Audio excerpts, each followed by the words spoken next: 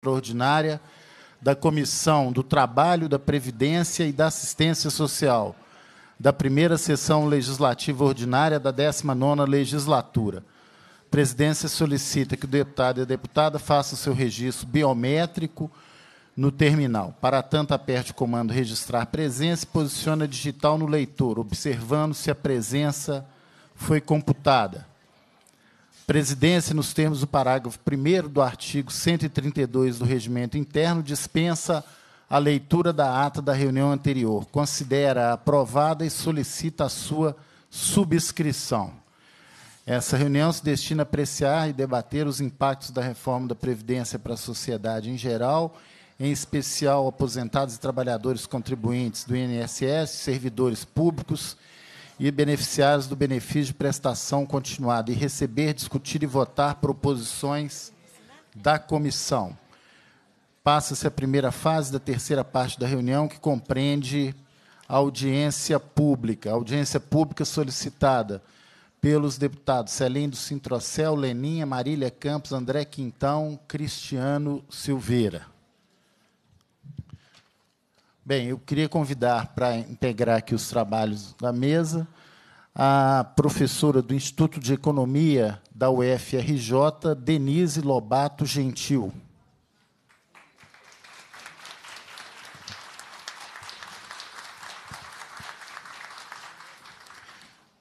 Com alegria também convidar o especialista em previdência social e economista José Prata Araújo.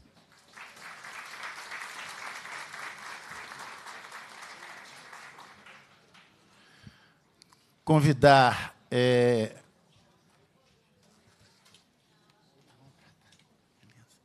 convidar é, Ilva Maria Franca Láurea, membro da Frente Mineira em Defesa da Previdência Social.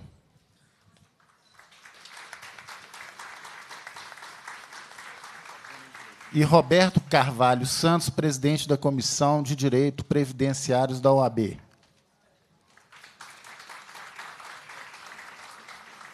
Eu queria aqui justificar a ausência. É, foi convidado também para a mesa o vice-presidente do Colegiado Nacional dos Gestores Municipais de Assistência Social, COGEMAS, o José Ferreira da Cruz, que é secretário em Belo Horizonte. Hoje nós recebemos um comunicado dele, problema de saúde, não conseguiu é, estar aqui presente.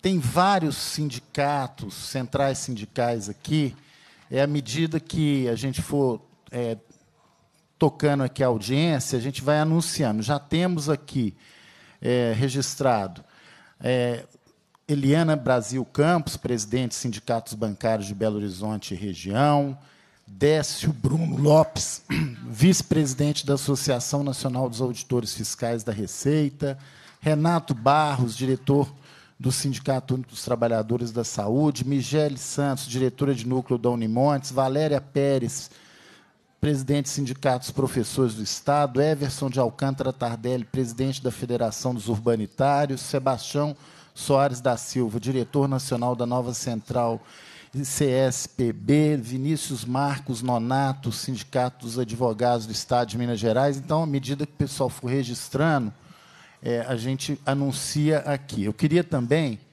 é, justificar a ausência. O presidente da Comissão de Trabalho, Previdência e Assistência, o deputado Celindo Sintrocel, é, estaria aqui para é, coordenar essa audiência pública. Então, inclusive, agradecer aqui a assessoria do deputado Celim, que atendeu nossos requerimentos, agendou essa audiência, nós apresentamos vários requerimentos, ele unificou essa audiência. Hoje começou a greve é, lá dos rodoviários, e ele está lá no Vale do Aço, ele me ligou, e na condição aqui de vice-presidente, então, junto com a Marília, a gente vai é, coordenar essa audiência, mas então queria registrar é, a sua justificativa e ausência.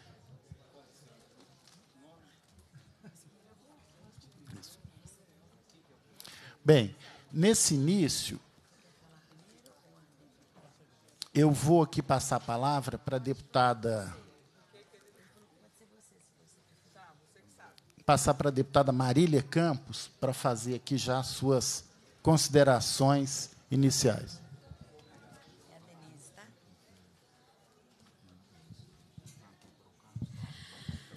Boa tarde para todas e todos. Cumprimentar a mesa, o deputado que preside essa reunião e também autor do requerimento, o deputado André Quintão, nosso líder aqui na casa, o senhor, a senhora Denise Lobato Gentil, professora da UFRJ, que teve lá no meu gabinete, a gente pôde trocar algumas experiências e reflexões. Cumprimentar o senhor Roberto de Carvalho, que também esteve no meu gabinete, presidente da Comissão de Direito Previdenciário da UAB. Cumprimentar a Ilva, a senhora Ilva, membro da Frente Mineira. E, por, por último, cumprimentar o José Prata, que, aliás, é meu companheiro, meu marido, pai dos meus filhos, autor dessa excelente cartilha sobre essa reforma da Previdência e também desse jornal que a gente tem incansavelmente distribuído na Praça 7, nas praças, nas portas de fábrica, no metrô, fazendo, nesse importante momento da conjuntura, é, uma, garantindo informações sobre essa reforma da Previdência, que, sem dúvida nenhuma, é um verdadeiro desmonte. Estamos trabalhando para que ela não seja aprovada.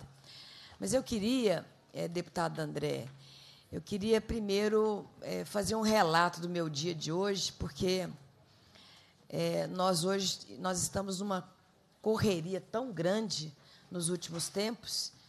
Imagina que hoje eu estava lá na academia, na esteira da, da academia, a, vendo o jornal, e a primeira coisa que eu assisti na televisão foi a denúncia sobre o fim do ensino integral em Minas Gerais, com a demissão de 9 mil educadores, com a 101 mil alunos e alunas que cursavam o ensino integral, eh, sendo extinto essa modalidade de ensino do nosso Estado, promovido pelo governador Zema. É claro que nós lutamos aqui na reforma para que isso não aconteça, Existem vários compromissos no sentido de garantir com que esse ensino continue, mas foi assim que eu comecei o meu dia de hoje, é, com essa denúncia que afeta centenas de jovens no nosso Estado. Depois eu fui para a Câmara dos Vereadores numa audiência pública de trabalhadores e trabalhadoras da MGS o governo Zema demitiu 250 trabalhadores e trabalhadoras que trabalham nas é, UAIs, que prestam serviço para a população, fazendo carteira de identidade, carteira de trabalho, intermediações com o Cine. O governo Zema fechou a UAI Barro Preto, que atende 2 mil cidadãos e cidadãs, não só de Belo Horizonte, mas particularmente da região metropolitana demissão de 90 trabalhadores nessa UAI, e na UAI Praça 7, que presta esse serviço com 4 mil atendimentos dia, eles demitiram 160 trabalhadores. Né? E agora é, eu venho para cá, mas sem deixar né, também de lembrar a grande mobilização que está existindo nas universidades, não só a universidade em Minas Gerais, mas em todo o ensino superior, né, que é uma reação é, do corpo docente, do corpo discente contra o corte que as universidades estão sofrendo e, na verdade, é, estão tentando é, implementar também uma política de privatização da educação pública né? eliminando todos os avanços que nós tivemos nos últimos anos, que além de ter fortalecido as nossas universidades, as, garantimos as políticas de inclusão. Né? Então, eu estou relatando isso porque isso está fazendo parte não apenas do meu cotidiano, mas do cotidiano de vários deputados e deputadas dessa casa, como também de vocês, que eu acredito todos aqui que estão, são lutadores não é contra esse verdadeiro desmonte que a gente está presenciando no país. E é sempre bom lembrar né, que isso que está acontecendo hoje é muito consequência do que aconteceu. Nós tivemos o golpe político e depois do golpe político foi implementado o golpe social. Não é? Emenda Constitucional 95, que congela os gastos públicos durante 20 anos, nós já começamos a ver os efeitos da Emenda Constitucional 95. E, sem dúvida nenhuma, o que acontece hoje nas universidades, o que acontece hoje na reforma da Previdência Social, é a política para adequar ao teto, o teto né, que, foi, que foi colocado pela emenda constitucional 95, o teto para os gastos públicos. Né? Então, é, a gente está vendo tudo isso acontecer, mas é, não temos só notícias é, ruins, embora os fatos né, que o governo, tanto o governo federal como o governo do Estado, eles anunciam a todo momento, parece ter um saco de maldade, cada hora tira uma maldade, não é? e sempre prejudicando o mais pobre, sempre prejudicando as políticas sociais, mas nós já estamos vislumbrando muitas mobilizações. No dia 15, nós já teremos a primeira greve da educação. E com grande mobilização, já iniciada ontem na Universidade Federal de Minas Gerais e em vários pontos do país. E no dia 14, certamente, é, estaremos já mais preparados para, de fato, fazermos, promovermos a greve geral, no sentido de pressionar para que essa reforma da Previdência não aconteça. Então, neste momento, é muito importante que a gente se informe, que a gente não só fique dentro desses espaços institucionais, como câmaras de vereadores, Assembleia Legislativa, mas que a gente ocupe as ruas, para discutir com a população, para construir um novo discurso. Não o discurso do presidente, não o discurso daqueles que defendem a reforma da Previdência, que é o discurso de que a reforma é para enfrentar o déficit público, de que a reforma é para enfrentar os privilégios. Nós sabemos que quem paga o pato com essa reforma são os mais pobres. Seja porque a lógica da reforma é dificultar ou até mesmo impedir o acesso aos benefícios da Previdência, seja porque a reforma ela tem como diretriz diminuir os valores dos benefícios que são pagos pela Previdência Social. E, é claro, tentando fechar com chave de ouro né, o que eles chamam de capitalização, que, na verdade, significa é a privatização da previdência pública do nosso país. Então, eu quero aqui desejar um bom debate, né, na expectativa de que a gente saia daqui fortalecido para fazer esse debate nas nossas cidades, nos nossos bairros, nos nossos sindicatos e, obviamente, fazendo a campanha que a gente tem que fazer. É momento de ocupar as ruas e é momento também de pressionar aqueles e aquelas que o povo elegeu, que estão no Senado Federal, que estão na Câmara dos Deputados. Então, é momento dos sindicatos fazerem os boletins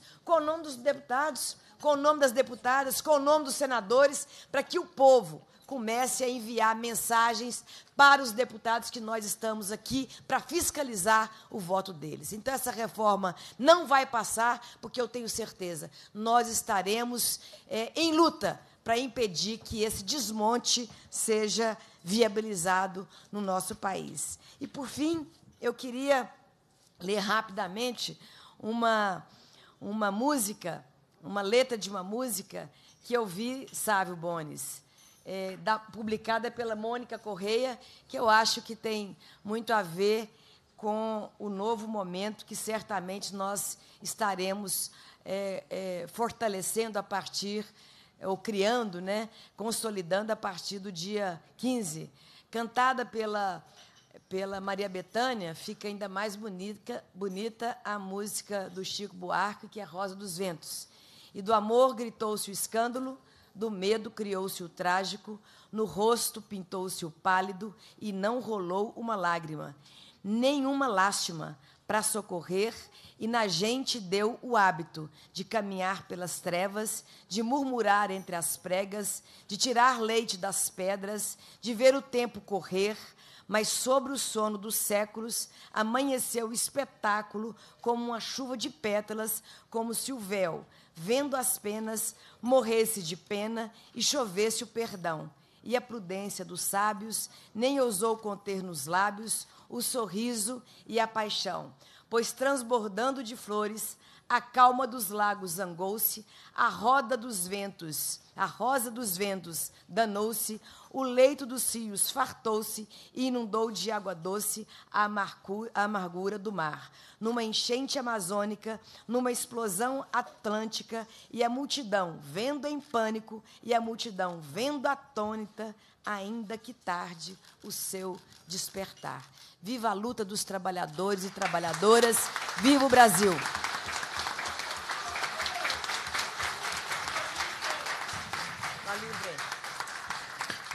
Obrigado, deputada Marília. Queríamos anunciar aqui também a apresentação da FENASP, Túlio Michel, Maria Cristina Teodoro, Sintes-Prev MG, Marilene Faustino, diretora de Juventude Rural da FETAENG, Lorena de Freitas, da Confederação Nacional dos Trabalhadores da Agricultura, Sebastião José Nascimento de Pádua, secretário-geral dos Sindicatos Professores das Universidades Federais de BH, Montes Claros, Ouro Branco, MST aqui presente. E, nesse momento, a gente já passa para a primeira. Nós combinamos aqui 30 minutos, né, Marília, para, para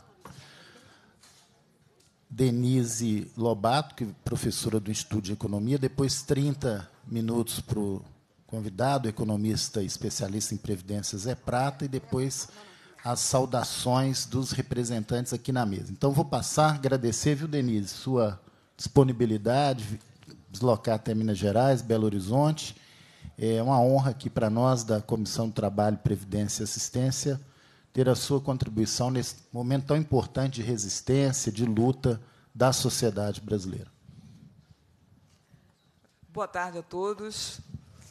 É uma enorme honra estar aqui com vocês hoje. Eu agradeço muito ao convite que foi feito para mim para essa audiência pública. Eu me sinto é, privilegiada de poder dividir um pouco aqui com vocês.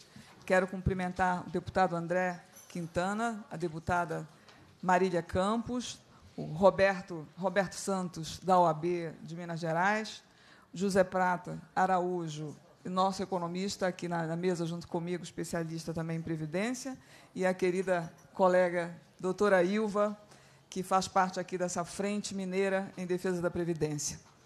É, boa tarde, então, a todos vocês que vieram aqui e vamos fazer um lindo debate aqui hoje. Uh, a deputada Marília começou me emocionando muito, porque realmente essa, essa música do Chico Buarque é a, é a música predileta da minha mãe, e isso tem para mim um, um duplo significado, não só é uma chamada muito grande para a nossa capacidade de reação às trevas que o mundo pode pode nos oferecer, as trevas que podem nos cercar, é, mostrando que a gente tem capacidade de, de, reconstruir novamente uma sociedade, que é o que nós faremos. Né? É certamente o que nós faremos. Eu agradeço muito por essa inspiração, é, apesar de ter me, me, me balançado muito. É, eu, vou, eu vou fazer uma fala aqui é, sobre o discurso que o governo tem utilizado para justificar a reforma da Previdência eu vou tentar mostrar para vocês que os argumentos elaborados são altamente manipuladores, são argumentos viesados, são argumentos que usam dados propositalmente seletivos. São argumentos forjados para criar o terror na população a respeito do déficit público para manipular o medo da população a respeito de uma velhice desamparada. É um discurso para calar os opositores. É um discurso para imobilizar os indecisos. Então, nós temos que pegar cada um desses argumentos e examiná-los de perto, com profundidade, usando a, o saber científico, usando os dados que não são revelados pelo governo. Existe uma massa de dados na área fiscal que está longe dos olhos e dos ouvidos da população. É como se tivesse uma história paralela que não é mostrada. Né? Como se tivesse um, um, uma sociedade ao lado de outra, né? essa outra sociedade marginalizada e sem voz é? para poder conduzir os seus direitos, para poder reivindicar o padrão mínimo de, sobre, de sobrevivência. Então, é sobre isso que eu vou falar agora, certo? E, e eu não sei onde é que está. Está ali, está certo. É, eu escrevi ali reforma da Previdência e vou começar, então, é, levantando alguns argumentos. Qual é o primeiro grande argumento que a gente tem do governo, se vocês puderem olhar, né? os argumentos econômicos do governo para justificar a reforma da Previdência. O primeiro grande argumento que vocês ouvem cotidianamente, maciçamente, tediosamente sendo repetido todos os dias na mídia. Se não houver reforma da Previdência, a situação vai agravar e não haverá ajuste fiscal a Previdência e a Seguridade Social teriam um déficit de 290 bilhões de reais agora em 2018. Esse déficit vai ficar maior em 2019 e vai se tornar explosivo no futuro. É isso que o governo diz.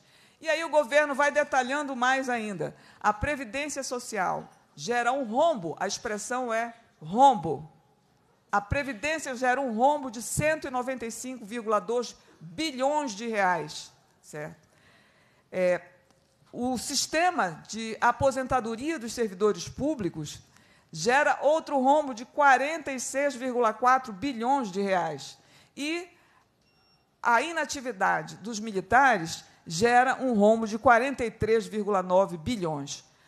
Quando se soma tudo isso, o cidadão desavisado né, olha para esses números e diz: é, de fato, de fato, não há outra saída. Nós vamos ter que fazer uma reforma da Previdência, porque esse sistema vai explodir. O ministro tem razão. Vamos ter que partir para uma reforma da Previdência. No entanto, o que é que não é contabilizado nesta análise? O que é escondido dos olhos e dos ouvidos da população?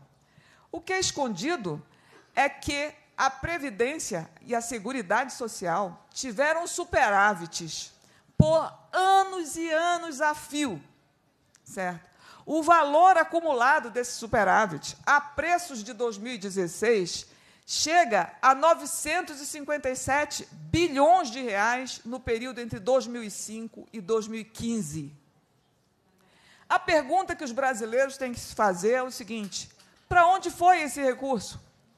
Por que, que esse superávit não foi armazenado num fundo para que no momento de um ciclo econômico de recessão como esse que a gente está vivendo, que os empregos ficam mais escassos, que a receita das contribuições sociais diminui, por que, que agora esses recursos não podem ser usados?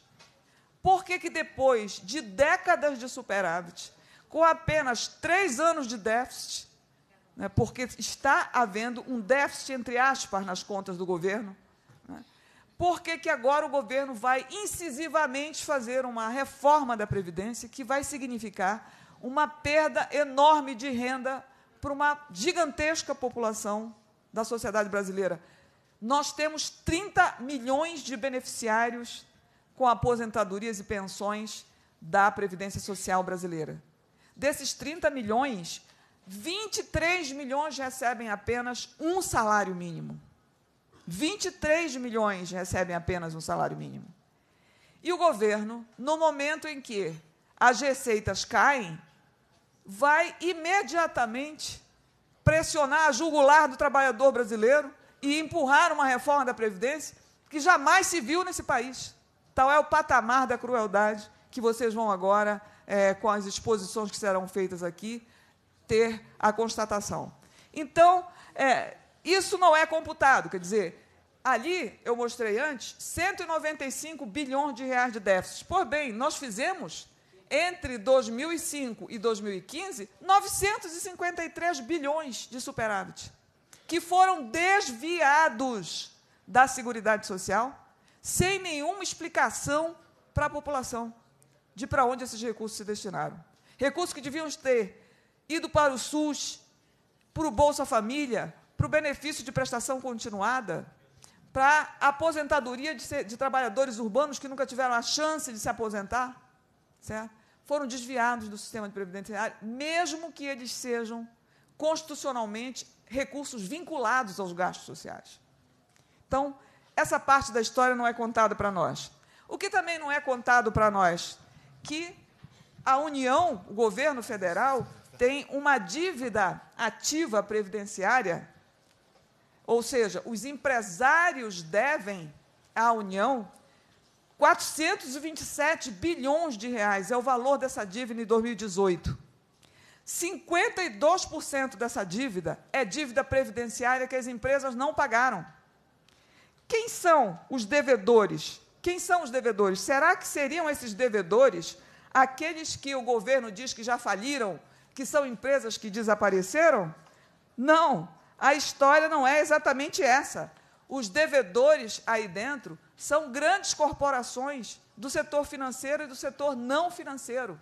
Nós temos aí dentro bancos que devem à Previdência, como, por exemplo, o Bradesco, a Caixa Econômica Federal, o Banco do Brasil, o Itaú, certo? Que são instituições que tiveram lucros elevadíssimos muito recentemente, como foi é, é, divulgado na imprensa que os bancos, por exemplo, o Banco Itaú, teve um lucro de 24 bilhões 977 milhões de reais no ano de 2018.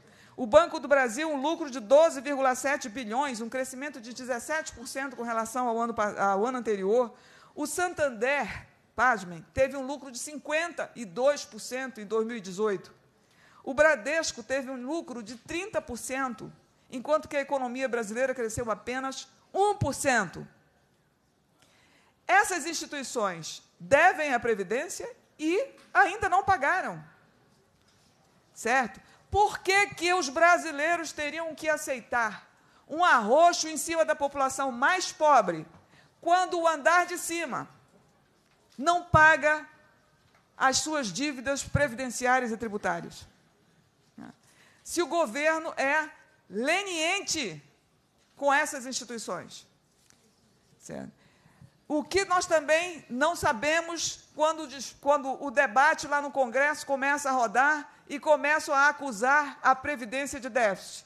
Não mencionam que as desonerações tributárias, ou seja, as renúncias voluntárias de receita que o governo fez, ano passado significaram uma ausência de 283 bilhões de reais. Certo? 283 bilhões. Desculpa, aqui sim, 52% desses recursos pertencem à Seguridade Social. Aqueles 427,4 bilhões de dívida ativa, ele é totalmente da Previdência, certo? Então, se vocês tiverem aí uma caneta, vão somando. Some aí o valor dos superávites, some o valor da dívida ativa previdenciária que não é paga, some o valor das renúncias de receitas que o governo faz em favor de grandes empresas. Agora são mais 283 bilhões. Tudo isso supera em muito aquilo que o governo chama de déficit da Previdência de 194 bilhões. Então, não é só isso. O presidente Temer, em 2018, concedeu uma renúncia de receita no Repetro. Vocês devem saber que o Repetro né, é a dívida das empresas petrolíferas. Grandes empresas petrolíferas foram desoneradas de receitas da Seguridade Social e da Previdência Social. Essa renúncia tributária resulta numa, num desfalque dos cofres, cofres públicos de um trilhão de reais até 2040. Então, reparem bem, de duas, uma.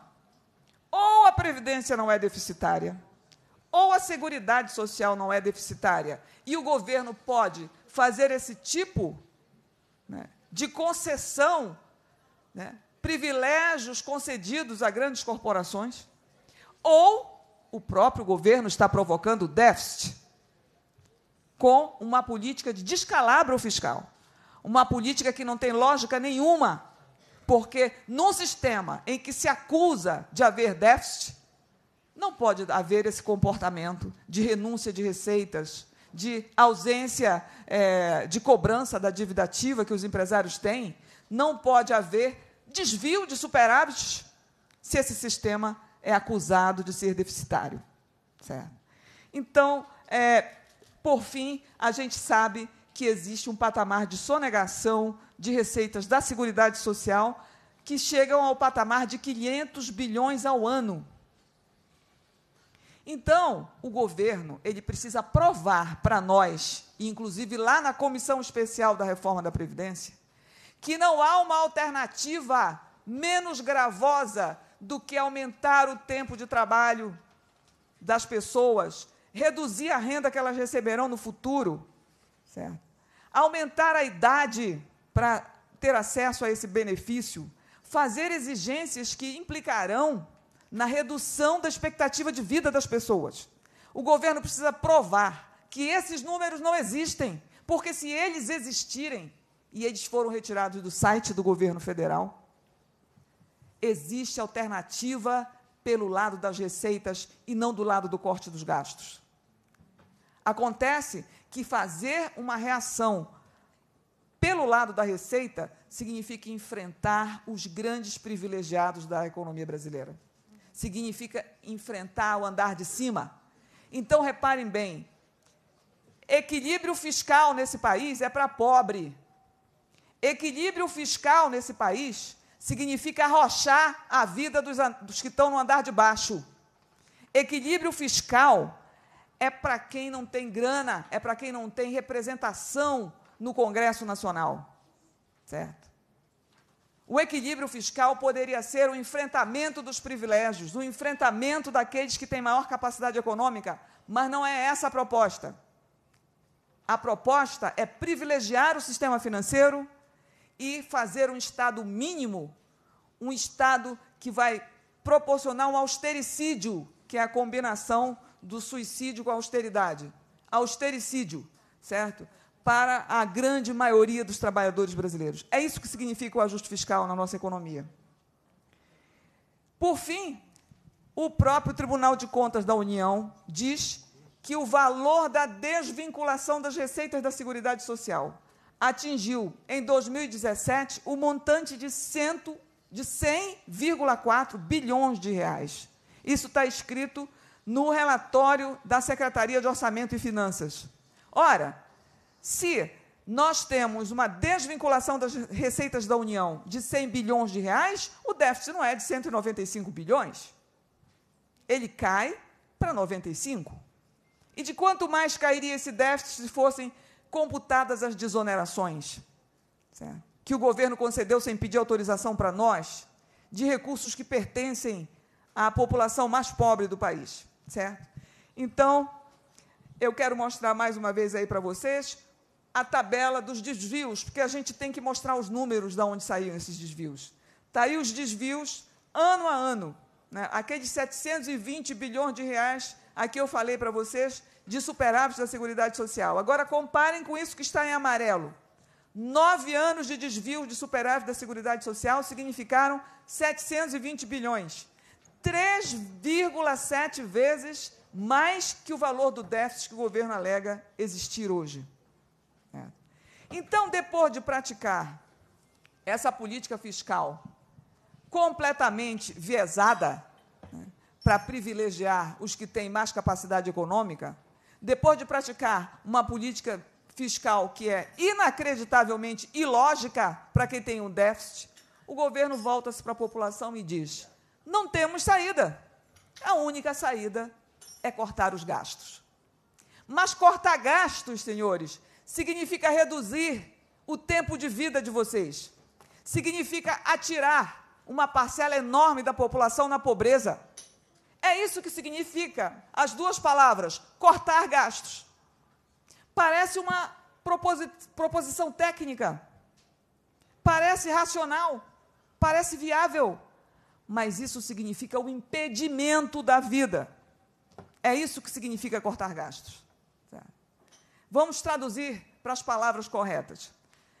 Aí está outra tabela, porque a gente tem que mostrar depois, se vocês quiserem, essa, é, esses números vão ficar disponíveis. As desonerações tributárias, em que eu mostro aí que as desonerações alcançaram um patamar de 283 bilhões, esses valores estão atualizados em bilhões de 2018, não é? enquanto o déficit da Previdência foi, segundo o governo, de, 100, de 195.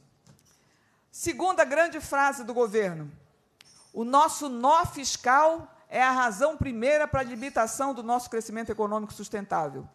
Esse nó fiscal tem uma raiz: a despesa previdenciária. Ora, o que é que de fato está impedindo o crescimento econômico desse país? O governo já praticou todo o receituário neoliberal que ele tinha disponível. Ele já fez a reforma trabalhista, já achatou os salários com a reforma trabalhista, impondo o desemprego, impondo o trabalho, o trabalho intermitente, já impôs o trabalho terceirizado. Tudo isso derrubou a renda de salários no país, certo? provocando um altíssimo de, é, emprego informal. Né?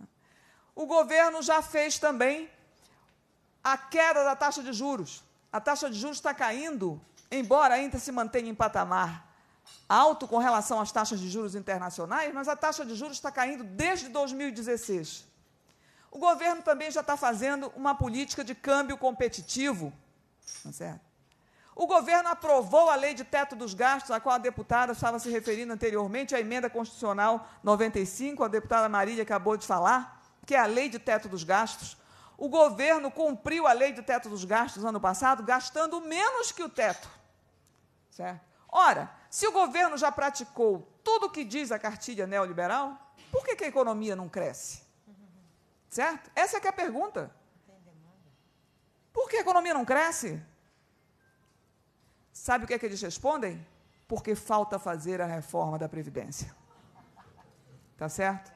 Como se houvesse uma relação entre a reforma da Previdência e o crescimento da sociedade. Qual seria essa relação, diz o governo? A relação é que, e o ministro Guedes disse isso ainda ontem à noite, né? antes de ontem à noite. A relação é a seguinte: a hora que a reforma for aprovada, se ela for aprovada no mês de junho, em julho os empregos começam a surgir. Os empregos começam a se multiplicar pelo país. Certo? Ele só não explica como que os empregos vão brotar. Porque a reforma da Previdência não é uma reforma para ter impactos no curto prazo. Muito menos essa reforma. Qualquer reforma da Previdência, se ela for paramétrica, ela vai mexer com a idade, com o tempo de contribuição, com o valor dos benefícios. Ela só tem impacto no médio e no longo prazo. Ela não tem impacto nenhum no curto prazo, muito menos no mês seguinte. Certo? E tem mais uma coisa. Esta reforma não fará o ajuste fiscal. O objetivo dela não é esse. Vamos para a próxima falácia. O objetivo desta reforma não é fazer o ajuste fiscal. E por que, que não é fazer o ajuste fiscal? Porque dentro da proposta de reforma da Previdência tem uma coisa chamada, num parágrafo curtinho de poucas linhas, regime de capitalização. Nós precisamos conversar sobre o que é um regime de capitalização. Um regime de capitalização significa que você vai ter que abrir uma conta individual. E nela você vai depositar, a partir da implanta, a implantação desse regime, a sua poupança mensal. Todos os meses você vai tirar uma parte do seu salário e depositar nessa conta. Um banco vai administrar esse recurso. Um banco vai aplicar esse recurso por você. Vai aplicar em fundos de renda fixa, em fundos de renda variável, portanto, vai aplicar em ações, na compra de imóveis, em CDBs, vai aplicar em várias opções dentro do mercado financeiro. No final da sua vida, quando você chegar ali aos 65 anos, depende do tipo de contrato que você for fazer com os bancos, você vai passar a viver dos ativos que ficaram depositados ali na reserva para você. E o valor desses ativos vai depender basicamente de duas coisas. Em primeiro lugar, do quanto você foi capaz de poupar. Se você tiver empregado, você vai poupar. Se você tiver sem salários, você não vai poupar. Se você tiver com um salário, mas o seu salário for baixo, talvez você não tenha condições nenhuma de fazer nenhum tipo de reserva. Portanto, depende do valor do salário e do seu da sua capacidade, da sua, como diz o governo, da sua empregabilidade. Certo? Em segundo lugar, vai depender de como o seu dinheiro for aplicado. Você vai ter que confiar numa instituição financeira e na capacidade dela ter o mesmo interesse que o seu, ou seja, aumentar o seu dinheiro. O banco teria que ter o mesmo, um interesse simétrico ao seu. Querer que você, no final da vida, encontre mais dinheiro do que aquilo que você depositou.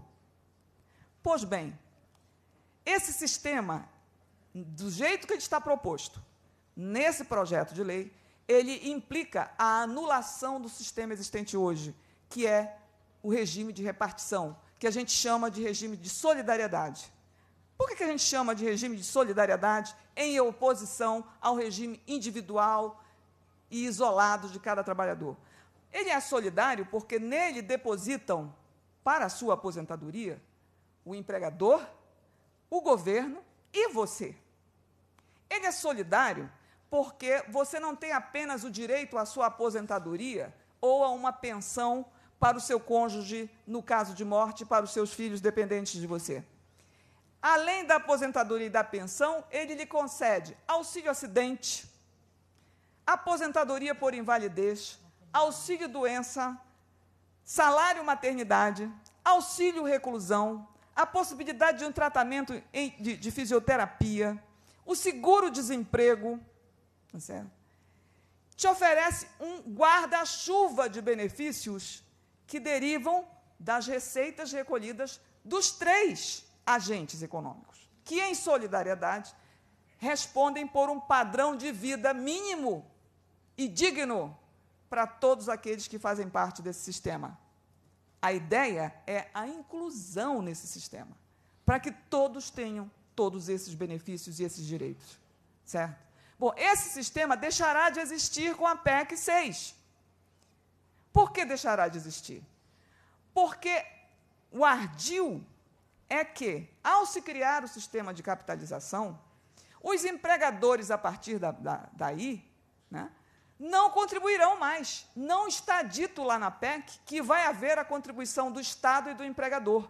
Portanto, só vai haver a contribuição do trabalhador. Isso significa que os contratos de trabalho, a partir da aprovação da PEC, só vão permitir ao trabalhador o ingresso no regime de capitalização, porque o seu empregador vai exigir que assim seja. Ele não será obrigado a contribuir, porque que ele vai lhe contratar, assinar sua carteira e entrar no regime anterior junto com você? Ele, ele decide, ele tem o poder de decisão sobre o contrato de trabalho. Certo? E, na verdade, um regime que aparentemente é complementar vai virar o único regime existente. Certo? Mas voltando ao que eu queria dizer anteriormente, por que, que a presença desse artigo, que é uma armadilha social dentro da reforma, não vai levar ao equilíbrio fiscal, como dizem os apresentadores da proposta de reforma? Por que não vai levar? Porque quando todos os trabalhadores começarem a contribuir para o novo regime, eles vão deixar de contribuir para o regime anterior, o antigo regime.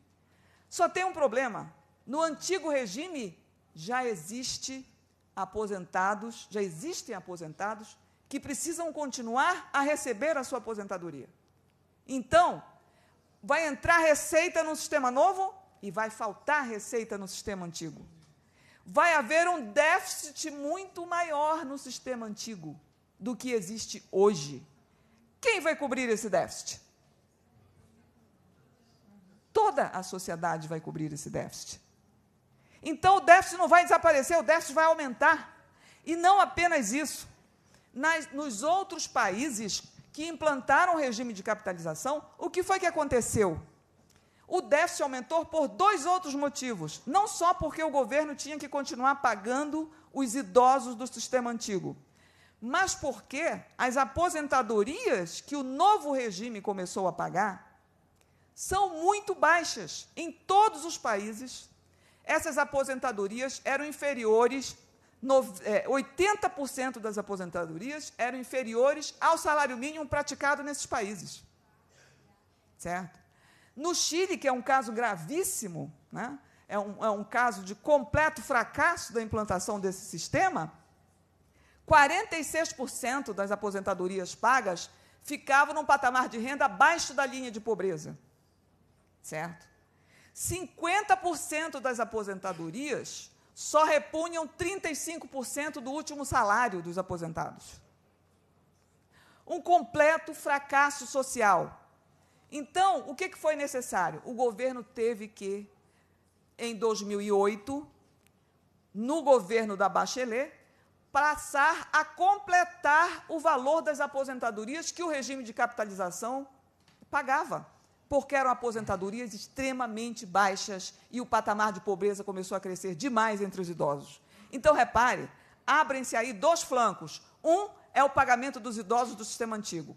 O outro é a necessidade de completar as baixas aposentadorias do novo sistema.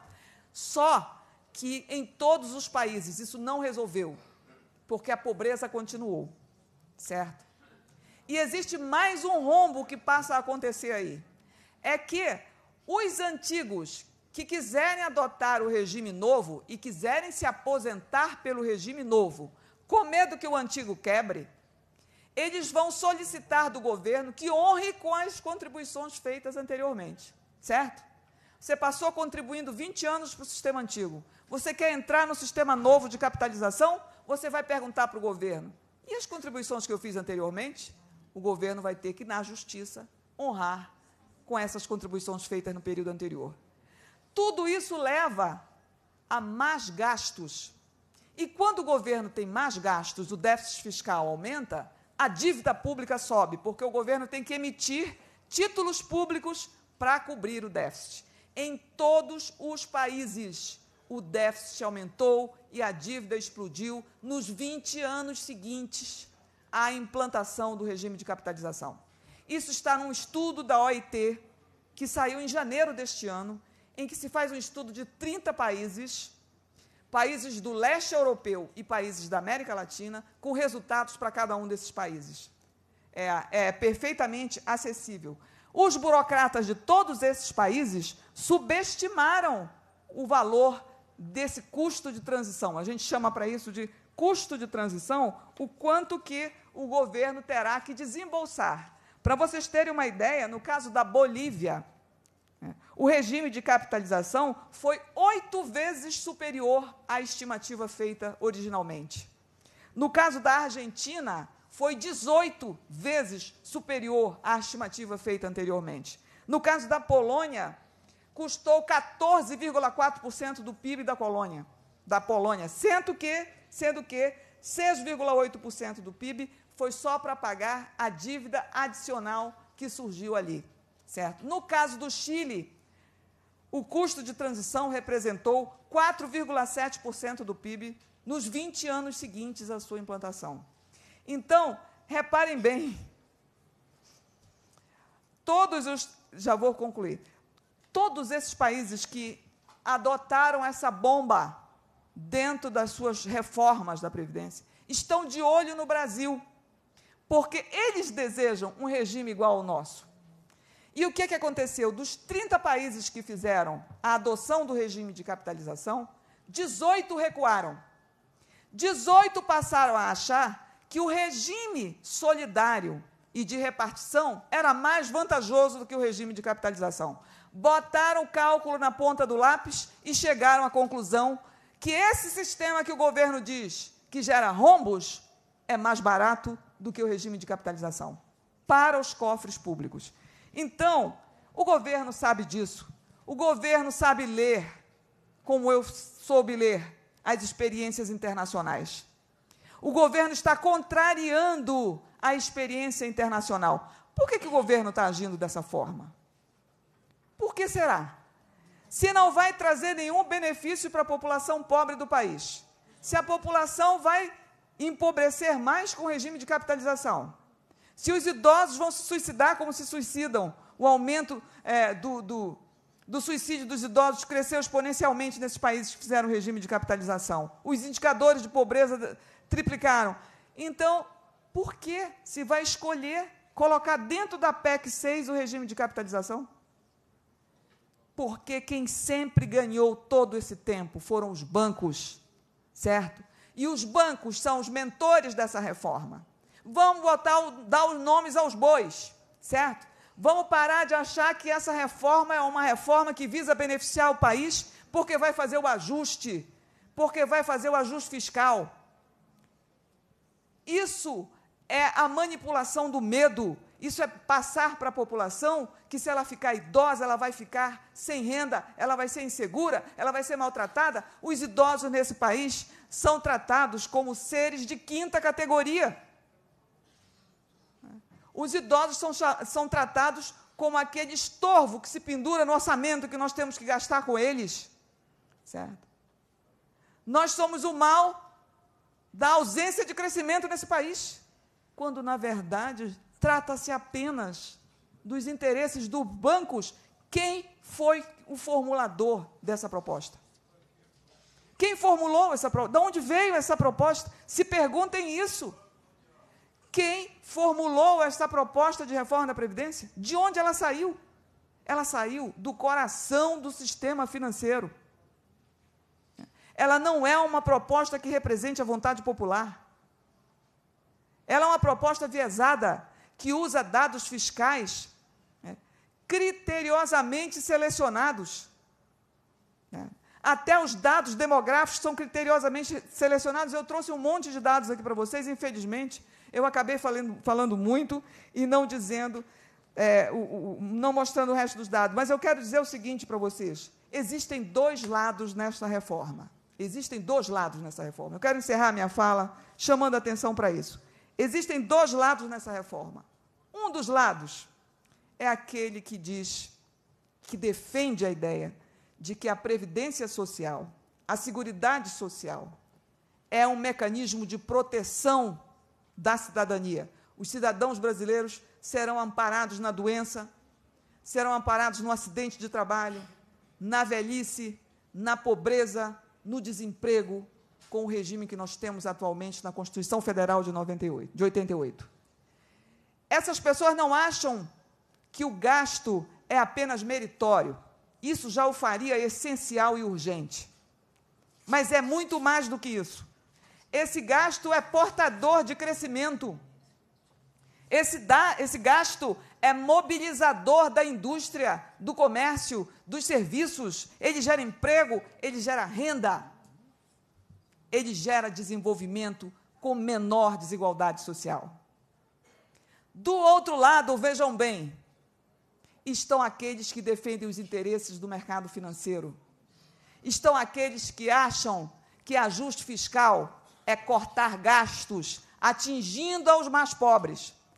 É arrochar os mais indefesos. Ajuste fiscal é para pobres. Ajuste fiscal é para deixar intocável os interesses dos que têm maior capacidade econômica.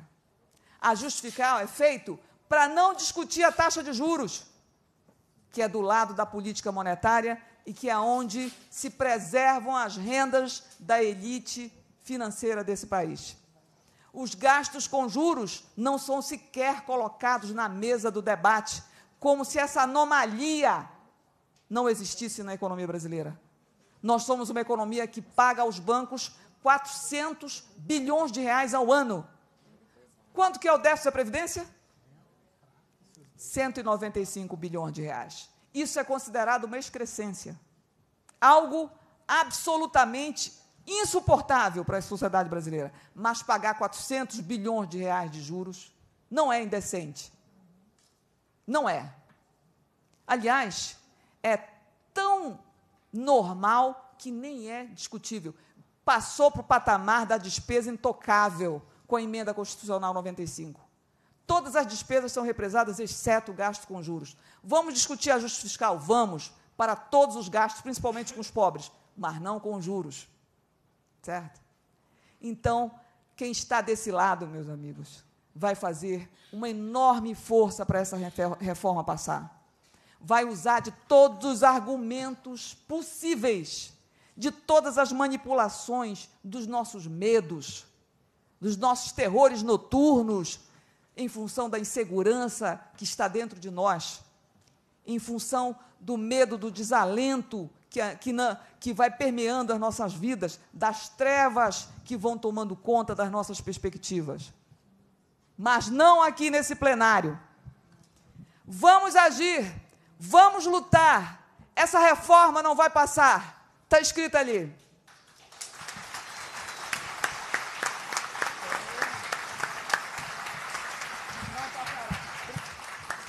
Muito obrigado, Denise, pela sua exposição que apresenta os fundamentos da, da reforma. Acho que isso é muito importante, inclusive para o debate e convencimento político da sociedade. É, estão presentes aqui representantes do Instituto Sérgio Miranda, Wanderson Rocha, do Conlutas, João Ricardo, Sindicato dos Trabalhadores do Correio Juiz de Fora, Sandra Silvestrini Sérgio Mig, Maria de Fátima, do Sindicato dos Funcionários do Banco Central, Maria Aparecida Meloni, presidente da AFENG, Marco Antônio, presidente do Sindifisco, Antônio Batista, diretor da CIMA, Maria Luísa da PUB, Rogério Djalma, Sindicatos Metalúrgicos Betim, Cristiano Meirelles, MST, Célio Isidoro Citraeng, Zé Alberto Sintider, João Batista Saeng, Rodrigo Tenente, Sindicatos Correios, Zé Eustáquio Sintramico. Bem, eu vou passar agora a palavra para o economista, especialista, estudioso e militante em previdência social, Zé Prata Araújo.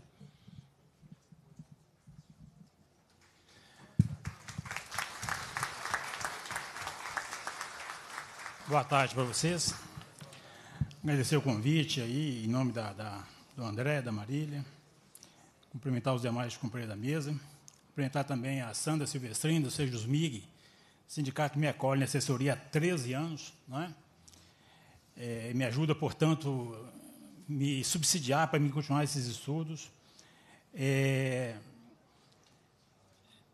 em primeiro lugar, eu gostaria de perguntar aqui quem que é servidor público. Levanta a mão, por favor.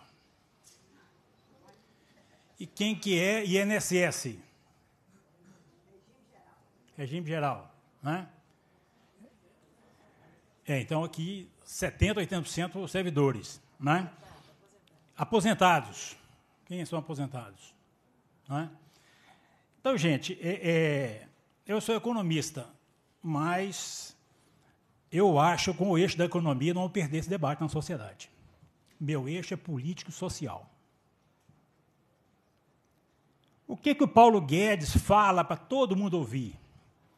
Eu vim para aqui, para o Ministério da Economia, para destruir a social-democracia brasileira e voltar ao Estado liberal. Não é isso que ele diz? O eixo dele é claro, é destruir o nosso Estado social.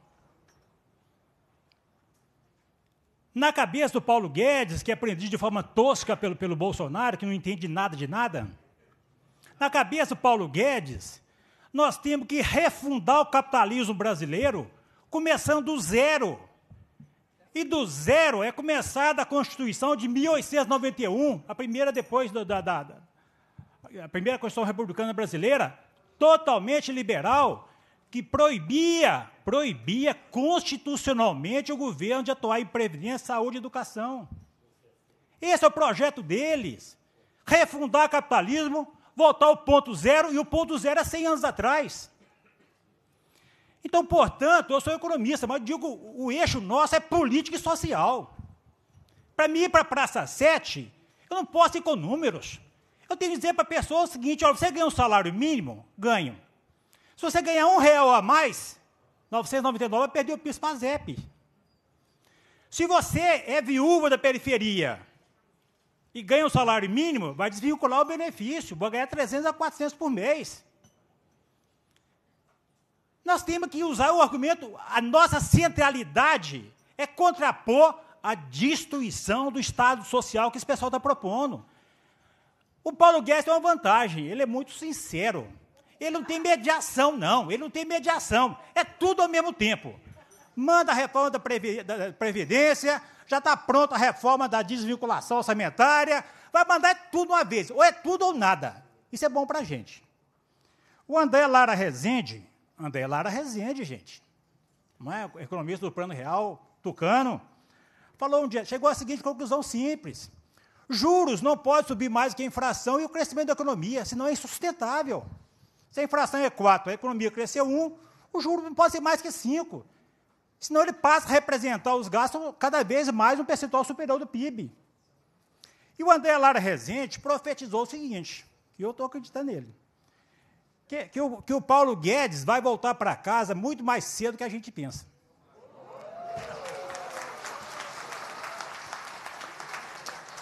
Eu acho esse é o eixo. O nosso eixo, vamos dizer claramente, o nosso eixo é social. É dizer para o trabalhador rural, da periferia, para a classe média, para os servidores, tá certo? Vamos discutir economia numa época de recessão, de estagnação. Olha, se é para discutir previdência, vamos discutir no governo Lula. De 2003 a 2014, a Previdência aposentou 11 milhões de pessoas, deu 76% de aumento real no salário mínimo, mas criou 24 milhões de novos contribuintes. Então, se é para debater, para debater economia, vamos debater na hora certa. Agora, não vamos escolher um debate de economia numa época de recessão. Se o país está mal, a Previdência está mal. Isso é óbvio. Não tem jeito, tudo vai mal. Então, é, é, essa, é claro que o problema não é central, o problema demográfico é um problema de longo prazo. Essa crise tem três consequências. As ameaças de curto prazo à Previdência são três: recessão e estagnação, a primeira, reforma trabalhista, porque é de lá que a, que a Previdência arrecada, e a capitalização e a privatização. São as três grandes ameaças. Então, a minha, minha, minha posição, que nosso eixo é o eixo político, social e até ideológico. É contrapor, é, é aproveitar agora a maré e ir para a ideologia, sim. Colocar concepção de mundo, de sociedade, como é que se organiza, a solidariedade. Por trás da privatização, vou dizer claramente. Né? Fazer esse debate. É, eu sou mais otimista. Eu acho que a população, majoritariamente, é contra a reforma da Previdência. Datafolha colocou um índice um pouco mais apertado, 51 a 41. 51 contra, 41 a favor. O Vox Pobre dá 65 a, 25, a 35. Agora, me pesquisa a sociedade ponto a ponto. Põe lá, quem é a favor da idade mínima? Quem é a favor de pagar menos que, que, que o mínimo para pensão? Quem é favorável de acabar com o reajuste dos aposentados todo mês de janeiro? Quem é favorável a, a, a, a essa regra de transição que aí está? Quem é favorável aposentadoria por invalidez por tempo de contribuição, arrumaram esse nome agora aí. Pesquise ponto a ponto, vai ser rejeição maciça. Rejeição maciça à reforma da Previdência. Não é? O que a população, na minha, minha opinião, a reação dela é o seguinte: apoia a reforma Previdência para acabar com os privilégios dos poderosos e manter os meus direitos. Minha leitura é essa. Então, nesse sentido, eu sou otimista que nós podemos derrotar, derrotar o modelo que aí está, tá certo? Eu acho que eles vão ter dificuldade de, de, de derrotar. Agora, só mesmo, eu vou dizer claramente, tá, gente? Essa reforma passa nessa amplitude só para incompetência da esquerda. Não tem jeito de perder uma luta dessa. Não tem jeito. Agora, nós temos que romper. Internet é muito legal, mas tem que ir para a rua, ver olho no olho. E tem que ir para a periferia. E tem que ir para a periferia. Eu e Maria fomos semana passada, na região mais pobre de Contagem, que é Nova Contagem, que é a região que o Nilton Cardoso criou. Nós falamos a agenda da periferia. Não fomos para lá falar agenda de classe média, não. Em vez de falar da, da idade mínima, nós falamos da, da aposentadoria por idade passar de 15 para 20, da desvinculação da pensão. Nós falamos lá da questão do, do, do, do abono salarial. Então, essa luta exige duas coisas. Escolher o eixo, que, é minha opinião, o eixo é o eixo social, de combate à destruição do Estado Social. E, segundo lugar, como, a, como previdência compulsória, é a luta que mais une, até por ser compulsória a previdência, mais une. Rural e urbano, público e privado, classe média mais pobres, pequenos proprietários, autônomos, está todo mundo no mesmo barco. Ela é mais une por isso, porque ela é compulsória. Se a gente trabalhar um eixo correto e trabalhar uma agenda ampla, quem é de classe média tem que ir para a periferia, mas defender a agenda da periferia também, não só a agenda do, do, do, minha. Se nós fizermos isso, escolhermos o eixo correto e tiver uma visão grande da, da unidade, trazendo, dando visibilidade nessa luta, a agenda política da, da previdenciária de todos os segmentos, nós podemos ganhar essa luta, na minha opinião. Né? É... A questão dos privilégios, vamos dizer claramente, não é? o eixo deles, eu fico vendo o Facebook da Marília, o eixo deles é um só. Privilégio dos políticos. Eu sou favorável a reduzir o sistema político brasileiro. Para reduzir, de preferência, tem que ser lista fechada, não é isso? Você fortalece os partidos, aí você tem estruturas menores. Não precisa ser cada deputado ser um, ser um partidinho, não é? é? Em geral, sistemas que têm mais enxutos politicamente, financeiramente, são os sistemas mais também mais de lista partidária. Não é? Sistema de lista aberta é muito complicado. Então, é um processo complicado aprovar lista no Brasil. Mas tudo bem. Olha só o que acontece no Brasil. Quem coordena esse papo de privilégio na Previdência é os banqueiros, não é? Você sabe quanto é que custa o sistema político brasileiro, André? 25 bilhões por ano. E os juros são 400 bilhões. A turma do, dos 400 bilhões falando em privilégio, é de rir, gente. Essa banqueirada deve reunir os seus banqueiros, deve morrer de rir da gente, da, da propaganda deles. Você já olha a hipocrisia dos banqueiros. Quando põe a Previdência como problema fiscal, detona a Previdência, não é isso? Agora, se você vai no banco, conversar com o gerente ou consultor, para fazer uma Previdência complementar, o que, que eles falam? INSS não presta, tem teto, arrebenta o seu salário. Quando é um problema fiscal, de, é, diz que é privilégio. Mas quando quer privatizar, aí detona o INSS, não é isso? Pega os folderzinhos dos bancos, você vê. Qual que, é o eixo folder do banco? Faça a previdência classe média do setor privado, porque o INSS vai te arrebentar no, no seu poder aquisitivo. Então, hipocrisia pura. Hipocrisia pura. Né? Então, pessoal, é, é a previdência, mais do que uma reforma, é parte de um processo mais amplo de destruição do Estado Social brasileiro. É assim que eu acho que deve ser tratada. Primeira questão, a questão da privatização. É, eu acho que a esquerda não deve entrar nesse debate, não deve aceitar essa polarização, que o modelo é igual ao chileno porque não tem contribuição patronal. Com contribuição patronal não, nós somos contra a privatização. Esse é o eixo nosso, nós somos contra a privatização. Com, tendo contribuição patronal não, nós somos contra. Melhora um pouquinho a se tiver contribuição patronal, melhora um pouquinho em relação ao Chile, melhora. Mas desfinancia a previdência pública. Arrebenta a previdência pública. Então, esse, acho que a esquerda no Congresso não pode aceitar esse, esse debate. Eu vi o, o, relator da reforma Previdência falando, Marília, de que a reforma sem a contribuição patronal não vai passar, a capitalização. Essa não é a questão da esquerda. Com contribuição patronal ou não, nós somos contra. Não é capitalização, é privatização da Previdência. E privatização, gente, ela gera um passivo por quê? O Brasil tem próximo de 40 milhões de aposentados. Quem está aposentado, banco não quer saber, não é isso? Porque não, não gera receita nenhuma. Por que, que os bancos também não querem saber de quem está nativa já? Sabe por quê? Porque já carrega um passivo. Digamos que todos os trabalhadores brasileiros têm, em média, 15 anos de serviço. Se todos os trabalhadores da ativa for para a previdência privada, quem é que vai cobrir aquele período onde não houve capitalização? Então o banco também não quer saber de quem está nativa. Que eu, digamos que eu tenha 20 anos de serviço, eu já até aposentei, digamos que eu tenho 20 anos de serviço. Se eu for para o fundo privado, eu não paguei, eu não capitalizei esses 20 anos. Como é que fica? É o passivo dos benefícios a conceder, que o governo também tem que assumir. Então os bancos só querem saber de quê? Só dos novos entrantes no mercado de trabalho, dos novos trabalhadores que não tem passivo nenhum. Não é? Esse passivo, gente, no caso do Brasil, o Paulo Tafner, que é o economista ligado ao governo. Ele calcula em 12 trilhões esse passivo. O governo teria, a privatização é como a elite gosta, toda a receita vai para eles, para os bancos, e toda a despesa fica cá.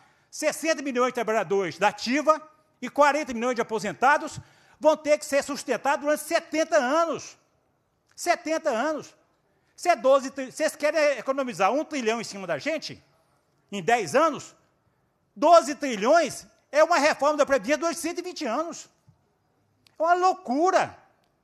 Como é que um cara que quer é, é, cortar receita, cortar despesa de um trilhão e gerar um roubo de 12, está preocupado com o equilíbrio fiscal?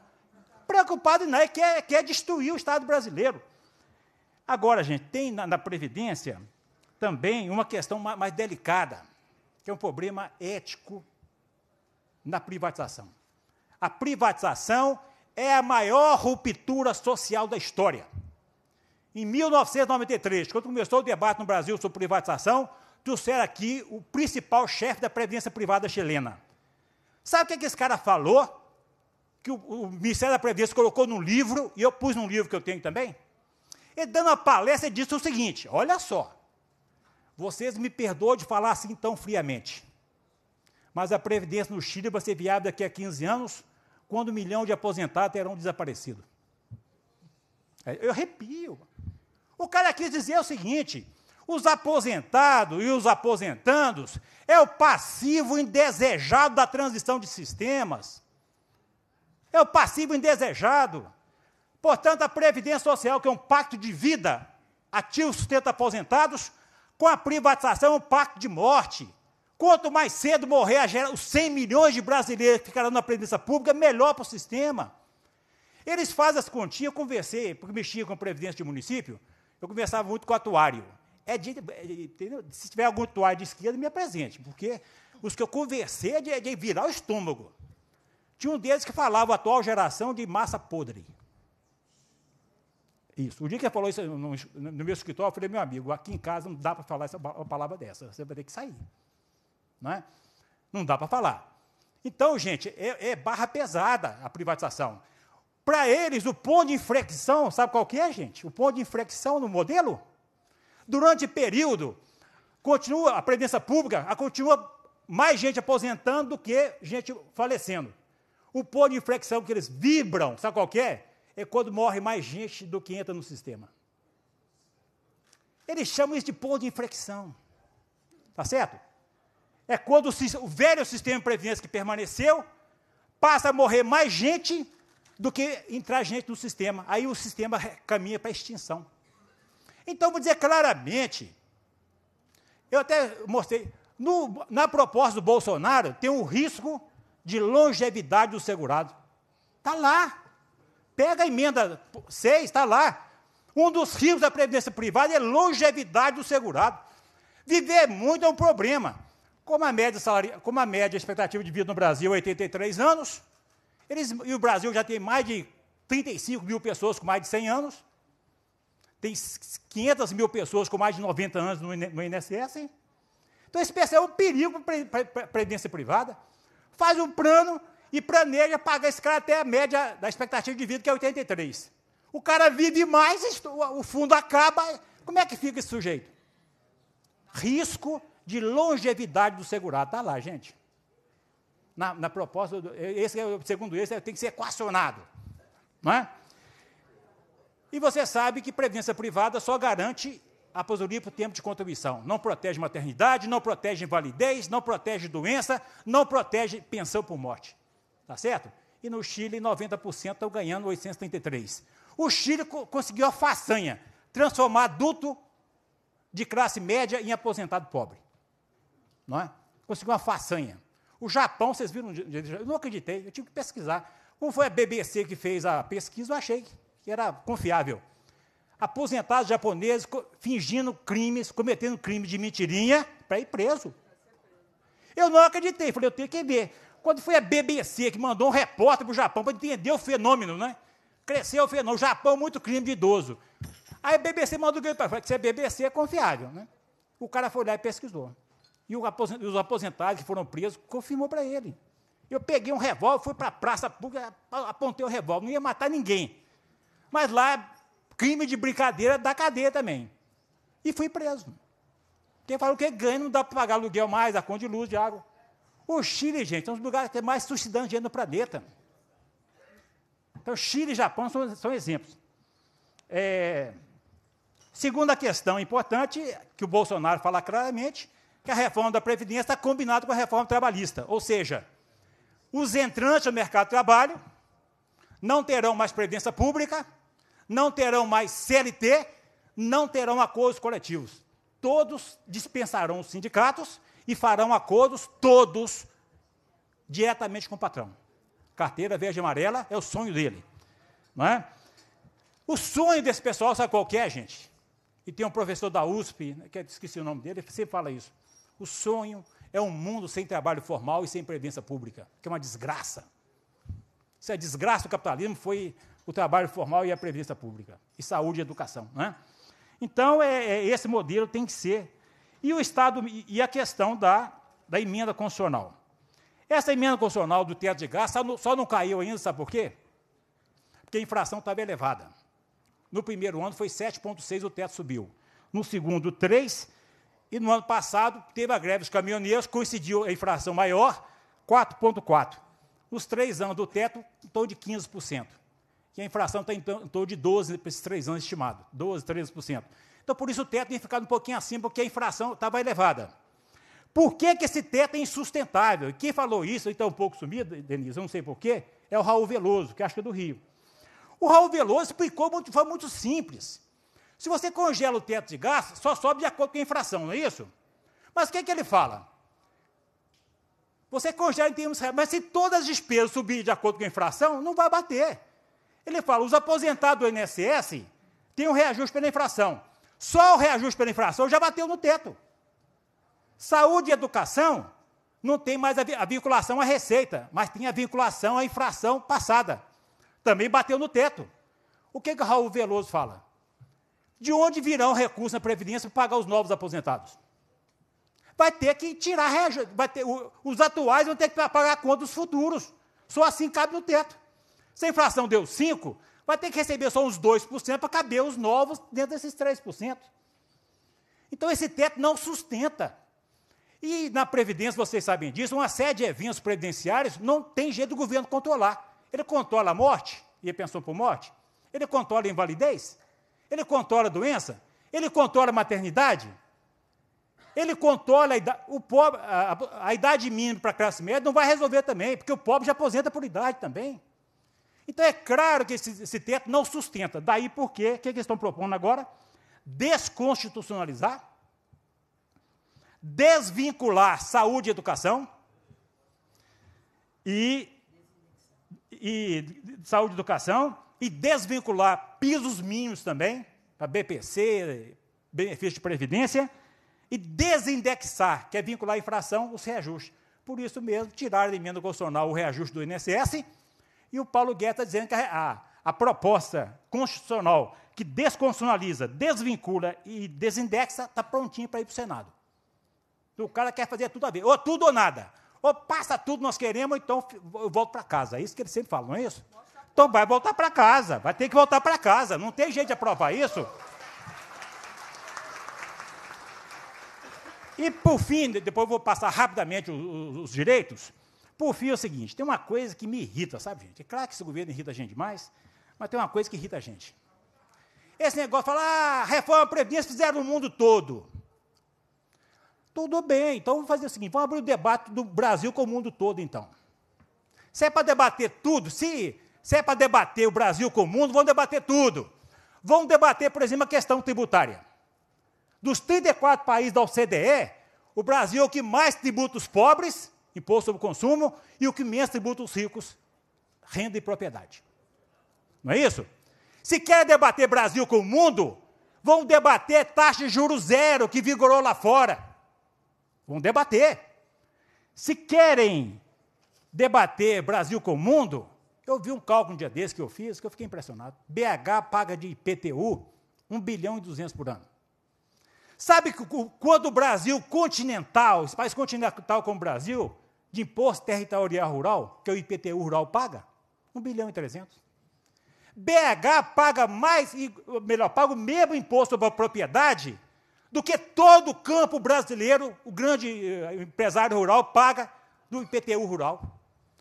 Tá certo? Olha que loucura. Não pagam nada, não pagam previdência, não pagam ITR, não pagam nada. E todo dia chantageia o, Brasil com as suas tentativas de, de anistia. Vamos debater tudo. Se querem debater, vamos debater os juros. O Brasil é tem o quinto maior desemprego do planeta e é o quarto maior taxa de juros do planeta ainda hoje. Então, quer dizer, ele só quer debater reforma para ferrar o trabalhador. Agora, reforma já feita na Europa, até mesmo nos Estados Unidos, para diminuir a desigualdade, aí eles fazem cara de paisagem, não é isso? Não é comigo, não é? Fazem cara de paisagem. Então, gente, para terminar, dizer para vocês, quem perde com essa reforma? Perde todo mundo. Aposentado perde? Perde. De que maneira? Tira o reajuste da Constituição. Servidor fica esperto. Reajuste anual, em janeiro. Servidor tem que ficar esperto. Por quê? A partir de 2004 para cá não tem mais paridade. Todo mundo que aposentar vai ser ou reajuste anual ou zero também. Pensão por morte e aposentadoria por invalidez não tem regra de transição. Não tem mais paridade pela reforma constitucional. Vai vigorar também ou reajuste anual ou zero também de, de, de reajuste. E vocês conhecem o artigo 37, não é isso? É, reposição anual da remuneração. Só que faltou a palavrinha-chave para repor o valor real. Sem isso não vale nada. Servidor, gente, de 2003 a 2008 ficou, zero, ficou congelado porque não tinha política para substituir a paridade. Cinco anos congelados. Então, servidor é atingido também por essa questão. A, a, as pensões, não é isso? Que é outra questão importante para o aposentado, o que, que vai deixar para a pensão. E o desfinanciamento que eles vão ter com a privatização. As perdas dos novos trabalhadores vão perder? Vão perder pela, pela carteira verde e amarela, não é? é? E vão perder por quê? Pai e mãe aposentado e arrochado, avô e avó arrochado, o jovem também perde. Antigamente, o arrimo de família era o filho. Minha mãe, na família de sete filhos, me escolheu para ir para a faculdade. Só tinha dinheiro, para mandar um só, fui eu. Não teve jeito, não deu tempo de, pagar, de comprar casinha para ela. Não é? é? mas, antigamente, essa é um pouco a ideia. O filho trabalha, ou os filhos trabalham e dão uma casinha para o pai e a mãe. O, filho, o arrimo de família hoje é o idoso, não é isso? A filha separou, volta para casa. O filho está desempregado, volta. Todo mundo voltando. Virou uma. Eu moro no Eldorado, virou assim uma. Me chama um puxadinho para cima, vertical, puxadinho horizontal, é uma loucura, não é isso? Uma loucura. Então o jovem tem que compreender isso. Se, se, se o pai e a mãe, se o avô e a avó for arrochados, eles vão perder também, porque eles que, que, que em geral, sustentam as famílias no campo, então, né, gente? Não é, não é isso mesmo? Quem segura a vida no campo? Né, por dificuldade, é o aposentado rural. Não é? O, e os trabalhadores atuais, para terminar? A idade mínima 65 mulher, homem, 62 homem, não, 65 homens, 62 mulher, a cada quatro anos sobe sete meses, em 20 anos será 68 anos para o homem e 65 para a mulher. Em 20 anos, aproximadamente, segundo a evolução do IBGE. A regra de transição, olha que coisa interessante. A Sandra do Sérgio Mig lembra disso. Há dois, três anos atrás, estava no Fórum de BH, debatendo Previdência, e no dia que eu estava lá, saiu um artigo do Fábio Jambiage, que a Denise também deve conhecer, não é? lá do IPE do Rio. Ele dizendo o seguinte: o governo Temer está errado. Você lembra que a primeira versão do Temer era baseada a regra de transição no, no, no, no pedágio, não é isso? Aí os caras tiveram a ideia de passar o pedágio de 20%, que era no passado, para 50%. Aí o Fábio Jambiage escreveu um artigo falando o seguinte: gente, o governo Temer está errado, eles não estão enxergando nada. Por quê? 50% de pouco é pouquinho. Ele usou essa expressão no valor. Eu falei, gente, no valor econômico, no jornal mais rebuscado, o cara usou essa expressão. 50% de pouco é pouquinho. Se a pessoa faltar dois meses, 50% de dois meses é mais um mês de trabalho. Se faltar um ano, é mais seis meses. A Sandra lembra disso, o que, que eu falei lá? Tomem cuidado, esse, é, eu discordo desse cara, mas o argumento dele é muito forte. E não deu outra, esse cara convenceu o governo de que o pedágio levaria um acréscimo pequeno para quem estava próximo de aposentar, e a repercussão fiscal no curto prazo seria quase zero. Ele convenceu. Aí, na segunda versão da reforma, que, que é aprovada na, na, na, comissão especial, o que, que fizeram? Fizeram a regra de transição no setor privado, bolando o quê? Eles tiram a média das, das pessoas. Quanto é que a mulher aposenta no setor privado? Quanto que o homem aposenta? Tanto, a idade é essa. Vamos pôr um pouco para cima, a pessoa correr atrás e nunca chegar na idade mínima. E voltar também dizendo o quê? Estou terminando. Voltar dizendo o quê também? No caso de, de, de quem tem aposentadoria integral, só vai ter se ficar até a idade máxima. Aí endureceram. E o grande inspirador disso foi o Fábio Jambiage, é? porque falou que é, pedágio, 50% de pouco é pouquinho. Vocês estão errados. E eu, eu assessoro o Sérgio Smig, todo dia, hoje já tive exemplo já. Não é? A pessoa me ligou, faltando um ano para aposentar, vai ter que trabalhar mais 13. O, o recorde até agora foi 15 anos que eu já vi, tá certo? Eu faço atendimento individual, converso muito com as pessoas. Um ano vira 15, um mês. Um dia, a Santa está aqui, é, vai faltar dois meses, se a reforma for aprovada no final do ano, falta dois meses, trabalhar quanto tempo a mais, Sandra? Nove anos a mais. Por causa de dois meses vai virar nove anos. Então é essa barbárie que, que, essa, que, que fizeram com essa regra de transição aí, que vocês podem ver depois na cartilha. É, esse negócio, então, para quem não tem paridade, 100% da aposentadoria só aos 40 anos de serviço. Os pobres, tá, gente? Vamos dizer claramente: quem quiser ganhar os pobres para uma frente com nós, isso é fundamental, tem que saber que o pobre no Brasil aposenta por idade. E a grande questão deles não é a idade mínima, apesar que a mulher sobe de 60 para 62. Se quiser ganhar os pobres, é dizer o seguinte: passa a contribuição de 15 para 20. 40% das mulheres só pagam 15 anos no Brasil porque não aguenta pagar mais. Se eles precarizam o trabalho e aumentam o tempo de contribuição, a exclusão vai ser maciça. Maciça. Para ganhar os pobres, tem que falar da agenda dos pobres também. Só com a nossa agenda de da idade mínima, aposentadoria integral com 40 anos, isso não convence as pessoas mais pobres, porque elas já conhecem a idade mínima já. Não é? A questão do, do campo, não precisa nem falar, contribuição individual de 600 por ano, essa coisa toda, é acabar com a aposentadoria rural, não é? Fizeram a renda mínima da, na BPC de 400 reais, eu fiquei me perguntando, poxa, por que, que os caras criaram benefício antes de 65 anos? Pensei, porque você sabe que o BPC 998, acima de 65 anos, não é isso? O idoso pobre. Aí criaram um benefício de, é, um benefício de 400 para 60 anos de idade. Que estão falando que é uma grande concessão, não é isso? Se é 65, 998, vocês dão 400 logo aos, aos 60, eles criaram um benefício novo. Sabe por que fizeram isso, eu acho, gente? Porque eles sabem que a reforma vai excluir a massa rural quase toda e a massa urbana. Já é uma renda mínima miserável para aqueles que sabem que vão excluir. Então, esse aqui é o segredo deles. Criar essa renda não foi de boa vontade, não, porque eles têm certeza que vai excluir. Tem um cara do IPEA, que é um cara até progressista, ele falou uma bobagem um dia, ele falou que o problema da Previdência brasileira é que tem pobre demais, tem gente demais na Previdência, é quase universal. Ela é quase, é 85% em Previdência. Então eles falam do privilégio, mas sabe qual é o problema para eles da Previdência brasileira? Tem gente demais concentrada na pirâmide. Individualmente o, gasto é, o, individualmente o gasto é pequeno, mas em termos globais é elevado. É verdade. É, a aposentadoria por invalidez, já falei, a pensão. Não é? Muda a base de cálculo, que é a aposentadoria, arrocha a pensão. Baixa para 50%, arrocha a pensão. Acaba com a reversão do filho que se emancipa para a esposa, é, é, restringe a, o acúmulo de benefício e desvincula do salário mínimo.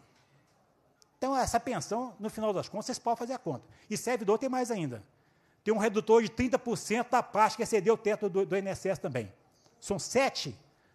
Sete. Vai terminar com 15, 20, 25% da pensão, gente. Se você juntar os arroxos todos. Então é isso aí, pessoal. É, dizer para vocês, é uma luta que eu, eu, pessoalmente acho, nós temos todas as chances de ganhá-la, todas as chances de ganhá-la, mas é aquela questão. Nós temos que achar o eixo correto, unificar as pessoas e entender a reforma. Por entender a reforma é saber explicar para cada cidadão, cada cidadã, onde que ela perde. Eu estou confiante que nós vamos derrotar essa reforma ou desidratá-la de uma forma brutal, que é o mais provável talvez, tá certo? Eu acho que no final das contas eles vão propor 62 anos de idade e 60, o Centrão acho que vai propor isso, a impressão que eu tenho. O, o Maia está escolhendo isso, baixar a idade mínima para tentar aprovar, mas nós podemos derrotar isso aí. Não é? E fazer isso então. Ou seja, nós temos que abandonar, nós estamos muito na geração esquerda, geração internet. Nós temos que abandonar. Agora, para ir para a rua, tem uma coisa incrível. Nós temos que resgatar a mídia ultrapassada, né? Tem que resgatar o boletim, o carro de som. Não tem jeito. Como é que você vai para a periferia com o que na mão? É carro de som, é boletim. Então vão para a rua, vão derrotar essa reforma, vão mandar para casa o Paulo Guedes e, quem sabe, mandar o próprio Bolsonaro.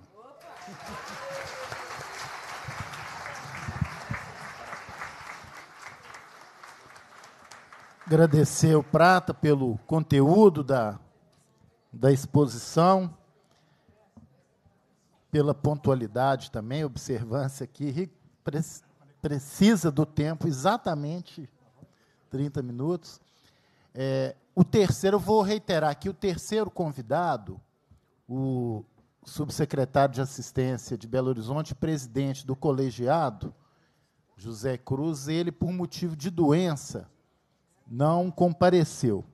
Mas estão aqui, né, o fórum, está aqui o Fórum Municipal de Usuário do SUAS, vários profissionais da área também, Maria Cristina, Sindicato dos Sociólogos, E eu queria, Prata, é, complementar, tenho certeza que o Zé Cruz falaria, o benefício de prestação continuada foi uma conquista da Constituição de 88. Salário mínimo mensal para pessoa idosa e com deficiência, cuja renda inferior a um quarto do salário mínimo. A, a estratégia dessa. Eles sempre tentaram não pagar. Ele só começou a ser pago em, mil, em janeiro de 1996, oito anos depois da Constituição. Sempre eles tentaram desvincular o valor do BPC do valor do salário mínimo. E sempre buscaram aumentar a idade, o corte para o acesso, sempre. A estratégia dessa reforma repete isso. Só que tem uma maldade, o Prata mencionou aqui no final, a perversidade. Porque se você dificulta o acesso das pessoas à previdência, por exemplo, com aumentando o tempo de contribuição ou no meio rural, com essas várias medidas, você vai julgar esse público para o campo assistencial.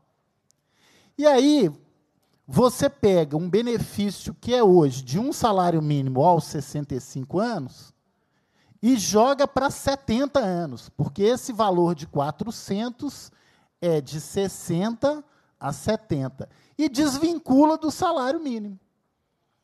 Ou seja, você vai ter uma bolsa esmola, esmola mesmo para essas pessoas pós as que estão excluídas do sistema da previdência, que serão muitas, principalmente nessa linha. Então, é muito concatenado, né? nada é à toa. E ainda enganam a população, porque eles pegam, não, a média de vida das pessoas depois dos 65 anos é 18 anos. É 18 na média. Mas quando você faz o corte de renda e cruza com a expectativa de vida, é pouco mais de 70 anos. Ou seja, quando a pessoa chegar lá nos 70 para receber o salário mínimo, a expectativa de vida ela vai viver um ou dois anos. Então, ela vai ganhar 400 reais, se fosse hoje, até os 70. E quando ela for atingir o salário mínimo, é, é o que o Prata falou, aí ela já vai estar próxima a morrer. Então, é uma, uma perversidade, mas é tudo muito arquitetado né, nesse sentido. Deputado, Bem, gente, Marília, a parte. A Ilva vai fazer a sua colocação agora, talvez você pudesse comentar um pouco sobre isso, porque a estratégia que está sendo colocada pelo governo federal é de pressionar os governos estaduais para é, apoio à reforma da Previdência e, em troca, o governo federal ajudaria os estados. E foi nesse, nesse sentido que o governo do estado já declarou o apoio, não só o governador do Estado, mas o governador da, da Denise aqui, governador do Rio de Janeiro, governador de Minas, governador de São Paulo, Rio Grande do Sul, já declararam o apoio incondicional à reforma da Previdência Social.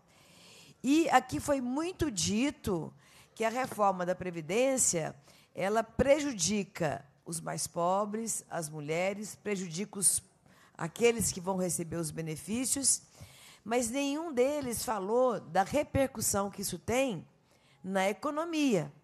Nós que temos 852 municípios, particularmente ou principalmente os municípios do interior, toda a economia se movimenta com o salário do aposentado, com o salário do pensionista, com o salário daquele que recebe o benefício de prestação continuada.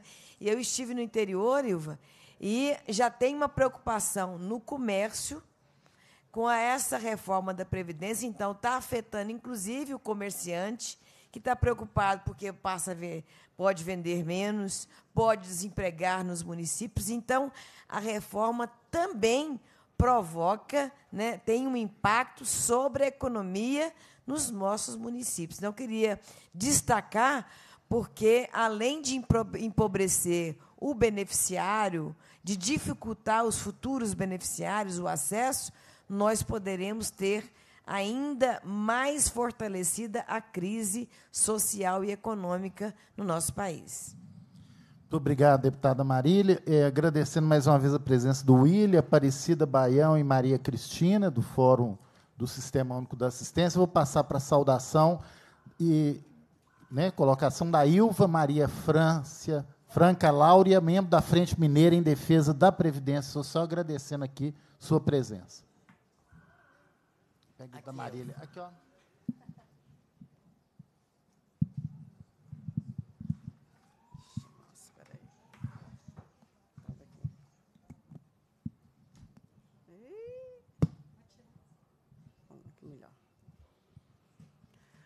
Boa tarde, gente. Boa tarde.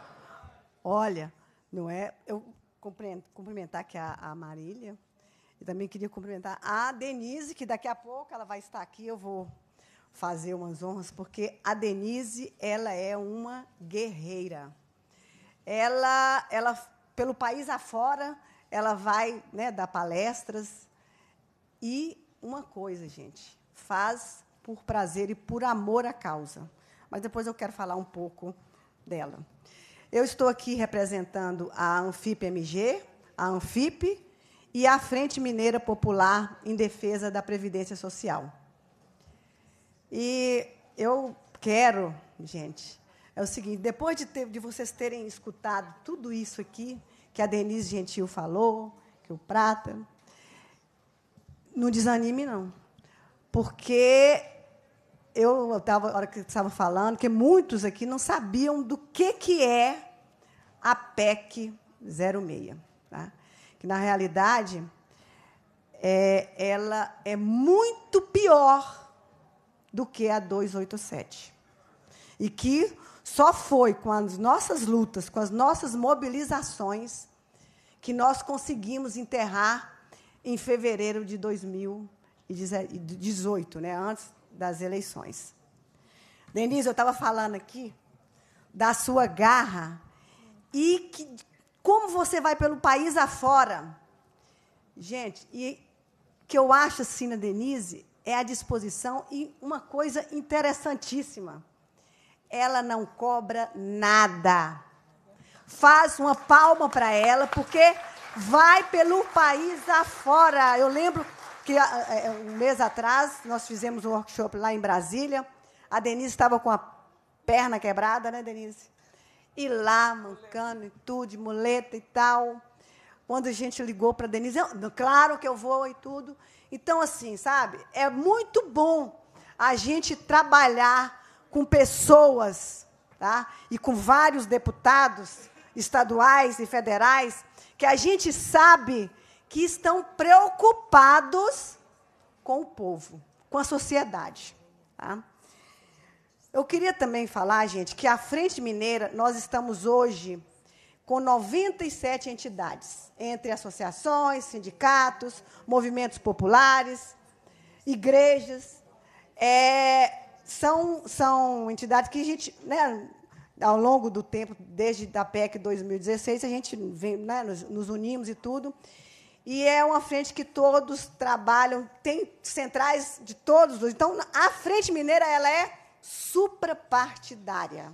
Eu acho que isso é muito importante, porque congrega todas as entidades, todos os sindicatos, todas as associações, porque essa luta de reforma da Previdência ela é de todos. Gente, é, são muitas maldades, muitas maldades que tem né, a, a, a, reforma. Mas eu, eu gostaria de reafirmar é, o que a, professora Denise falou. Vou falar pouco, só as principais, tá? que é a desconstitucionalização da Previdência Social, né? que, é, que através de uma lei, o que, que eles querem? Né? Tirar da Constituição e, através de uma lei complementar, ser aprovada. Por quê? Ela não precisa de fórum comum, como a, de fórum é, especial como a PEC, que são 308 votos de, de parlamentares. Lembra como eles fizeram com a reforma trabalhista, que na calada da noite foi aprovado? Com a terceirização? Então, é isso que eles estão querendo fazer com a Previdência Social, de, de uma lei né, complementar e na calada da noite lá, e, e, aqueles acordos que eles fazem entre os líderes, e ser é, é, aprovadas leis que mudam muda a Previdência. O regime de capitalização, que vai extinguir o tradicional sistema de repartição. O que, que esse regime significa? Que cada trabalhador vai depositar sua contribuição previdenciária em conta individual, e claro que vai ser no banco privado, né? E, além disso, como falaram, não vai ter a contribuição dos patrões e do governo. E aí, gente, vai ser cada um por si e os bancos por todos. Aqui, já, como já falaram, né, foi o mesmo regime que foi implementado no Chile, né, e que hoje lá o número de aposentados, né, os aposentados lá, eles é, tem, o número de suicídio aumentou. O, o, esse regime de capitalização, ele, o, os chilenos lá, os velhinhos não têm dinheiro, a aposentadoria não dá para comprar nem remédio. Outro item, o benefício de prestação continuada, que hoje é pago um salário mínimo para pessoas em condições de miserabilidade e deficientes sem limite de idades e idosos a partir de 65 anos.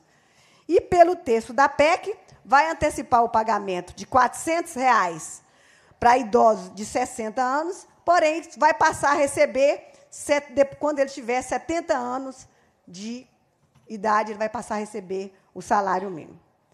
Gente, as regras de transições são extremamente draconianas. Promove rupturas para quem já está no mercado de trabalho e que também, tanto do, do, servidor público quanto das empresas privadas. É aquilo ali, que o, o, exemplo que o Prata é, citou, né? Quem está um mês, faltando um mês, vai ter que trabalhar mais sete anos e outros e por aí afora. Outro tema que nós temos que ter, olha, é um, é uma, não vou falar essa palavra aqui não, mas é doloroso. A aposentadoria dos professores e professoras é uma injustiça, porque eles propõem aposentadoria com 60 anos de idade para ambos os sexos e com 30 anos de efetivo exercício na atividade, tanto o professor quanto a professora. Gente, se isso passar, nós não vamos ter mais professores, não. O que, que nós vamos fazer? Por isso que eles já estão, estão até propondo né, de acabar com as escolas e, e, e, e educar em casa. Então, é, é, é isso que é a visão. É o aumento da contribuição previdenciária até 22% e com a possibilidade de cobrança extraordinárias, que podem chegar até 40%. Isso é um confisco.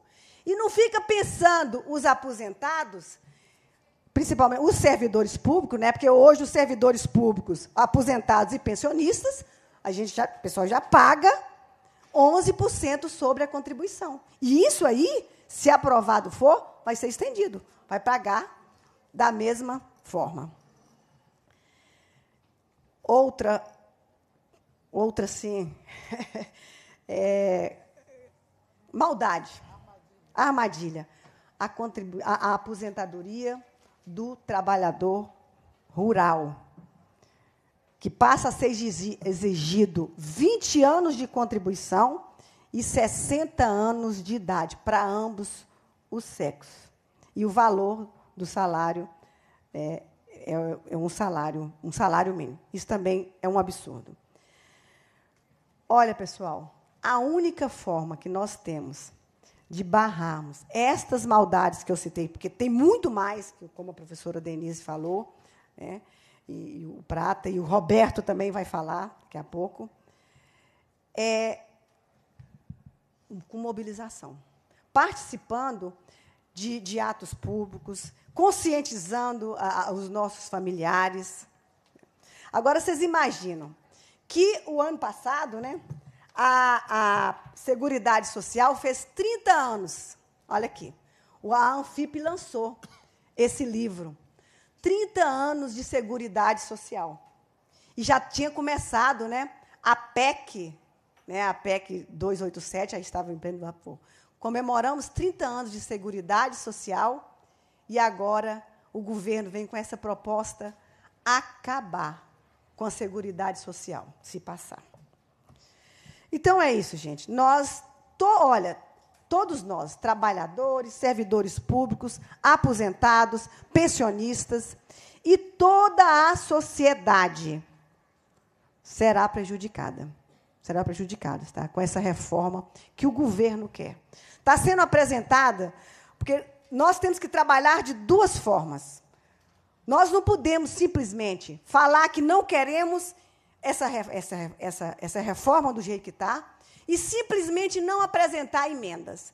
Porque nós corremos o risco de passar do jeito que está e não ter sido apresentado emendas. Então, até a semana que vem, é, as emendas podem ser apresentadas, tem lá o, o Fonacat, que está apresentando, várias é, é, é entidades estão apresentando também tá?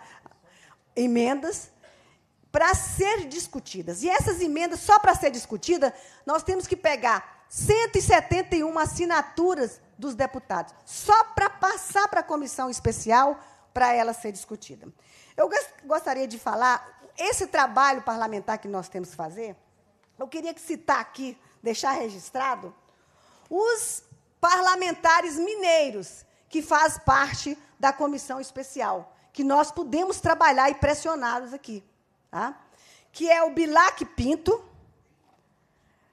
o doutor Frederico, do Patre, né, MG, o Luiz Tibé, esses são os titulares. O Lafayette de Andradas, mas é tão importante o titular e os suplentes. Você sabe por quê? Porque depende da conveniência do governo. Se ele vê que alguns ali vai que são titulares e que vai ser é, contra o governo, ele chega, arruma um jeitinho de tirar ele e chama o suplente. Tá?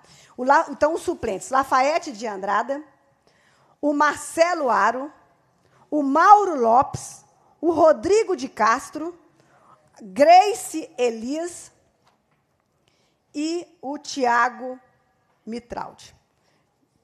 Gente, esse trabalho que nós, nós temos que nós temos que nós temos que procurar esses deputados que a gente de repente conhece alguém e juntar com, com, com a Frente Mineira, com outros sindicatos, com associações, tudo, e, e formarmos um grupo e, e visitarmos esses deputados e pressionarmos. E o melhor dia que tem para fazer esse trabalho, que eles estão aqui na base, é segunda, agora até que segunda não, porque eles estão, é, é, é, como se diz, eles ficam lá em Brasília por causa da comissão, esses que eu falei, mas tem os, os outros. Então, segunda e sexta-feira.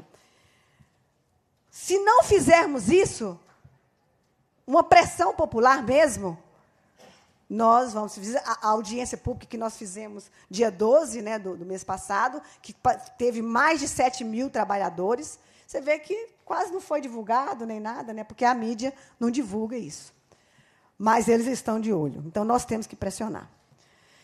Então, gente, por fim, né, eu suplico, não é suplicar mesmo, não a desconstitucionalização da Previdência Social, não ao regime de capitalização e não a retiradas de direitos.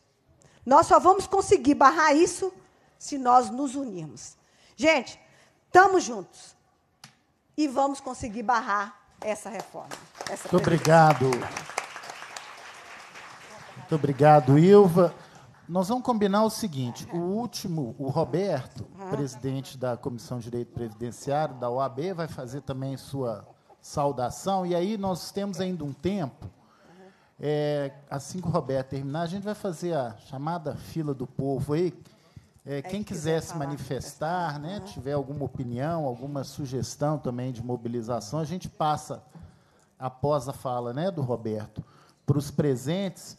É, lembrando, essa audiência está sendo transmitida ao vivo né, para toda Minas Gerais pela TV Assembleia. Então, além da importante presença das pessoas que estão aqui é também um elemento aí de difusão de informação, conteúdo e também é, estratégia de mobilização. Então, vou passar para o Roberto, e assim que o Roberto terminar, a gente começa a fase de intervenções do plenário, aí por volta de três minutos, né? A gente só vai pedir para a pessoa se é, apresentar. Eu queria anunciar também a presença do vereador Rony Sávio, lá de Morro do Pilar, do PT, agradecer sua presença. E com a palavra, Roberto. Obrigado, viu, Roberto, pela presença da OAB aqui hoje. Boa tarde a todos.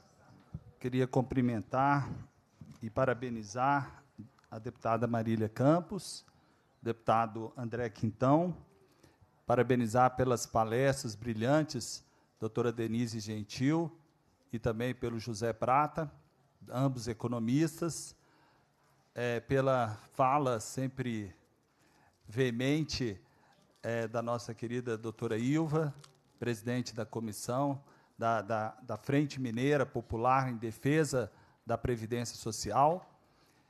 E a nossa preocupação da Ordem dos Advogados do Brasil é especialmente com a insegurança jurídica que essa PEC 06 de 2019 é, vem estabelecer.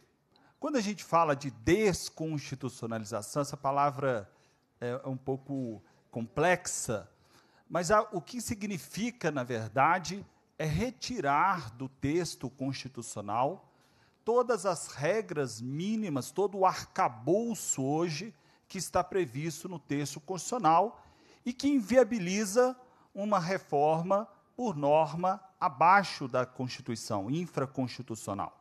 Então, hoje nós temos lá no artigo 40, que trata dos regimes próprios de previdência social, e artigo 201, uma série de regras de acesso a benefícios previdenciários que traz uma garantia a nós cidadãos brasileiros, que essas regras não poderão ser alteradas através, a não ser através de um quórum qualificado. Se essa desconstitucionalização for provada, basta uma lei complementar. Ou seja, a PEC 06, ela, ela é relativamente extensa. Por quê? Porque ela estabelece regras transitórias e regras de transição. Na verdade, as pessoas fazem uma confusão entre regras de transitórias e regras de transição. Mas, na verdade, essas regras transitórias elas valerão até que essa lei complementar seja editada. Então, veja o perigo que nós corremos. Hoje nós temos essa idade mínima, José Prata falou dos 62 e 65, mas essa lei complementar poderá desconstruir tudo estabeleceu uma idade mínima de 70 anos, 72. Então veja a insegurança jurídica pela qual nós vamos passar a vivenciar no Brasil se essa PEC 06 for estabelecida. Nós, ter, nós não teremos qualquer garantia de que alguns parâmetros mínimos deverão ser observados na regulamentação do texto constitucional. A lei complementar estabelecerá essas regras. E essas regras certa, certamente serão bem piores do que as regras transitórias. Essas que estão na PEC 06. Ou seja, nós vamos assinar, nós, sociedade, um cheque em branco para uma previdência que nós não saberemos qual será. E, obviamente, com isso, a capitalização ela entra em cena, porque as regras citarão regras aos benefícios do regime geral se estarão tão inacessíveis que a única opção que muitos terão é aderir à previdência de capitalização, até por pressão dos empregadores. Mas, finalmente, aqui para encerrar minha fala, eu queria tratar de, acho que, dois pontinhos que não foram abordados aqui, mas a título só de complementação. Aposentadoria especial, que hoje é concedida a quem trabalha em área insalubre haverá uma vedação da aposentadoria especial a quem trabalha em atividades perigosas.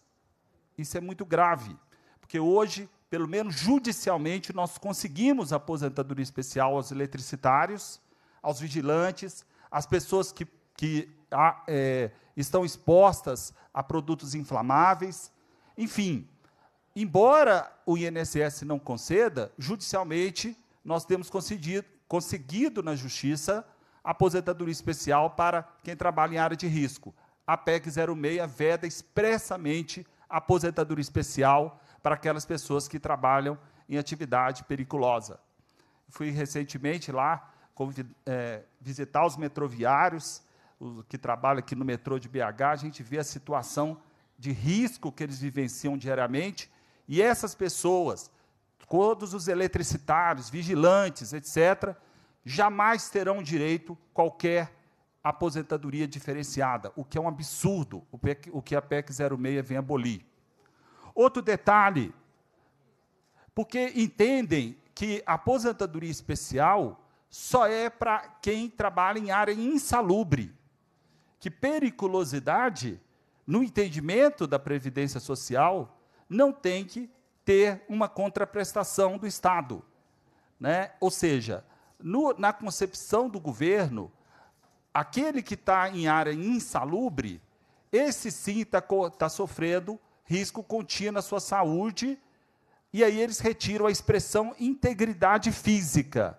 Ou seja, o risco à integridade física não vai ser mais coberto na Previdência Social de forma diferenciada. No entendimento do governo, isso não é um, algo que deva merecer um atendimento diferenciado, o que é um absurdo.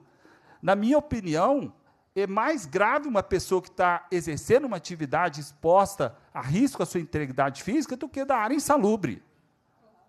Né? Então, essa é uma questão muito importante que afeta milhares de eletricitários, afeta milhares de metroviários, afeta milhares de, de vigilantes no Brasil que hoje estão conseguindo, pelo menos judicialmente, e às vezes até com recurso na junta de recurso do, do CRPS, esses benefícios de aposentadoria especial.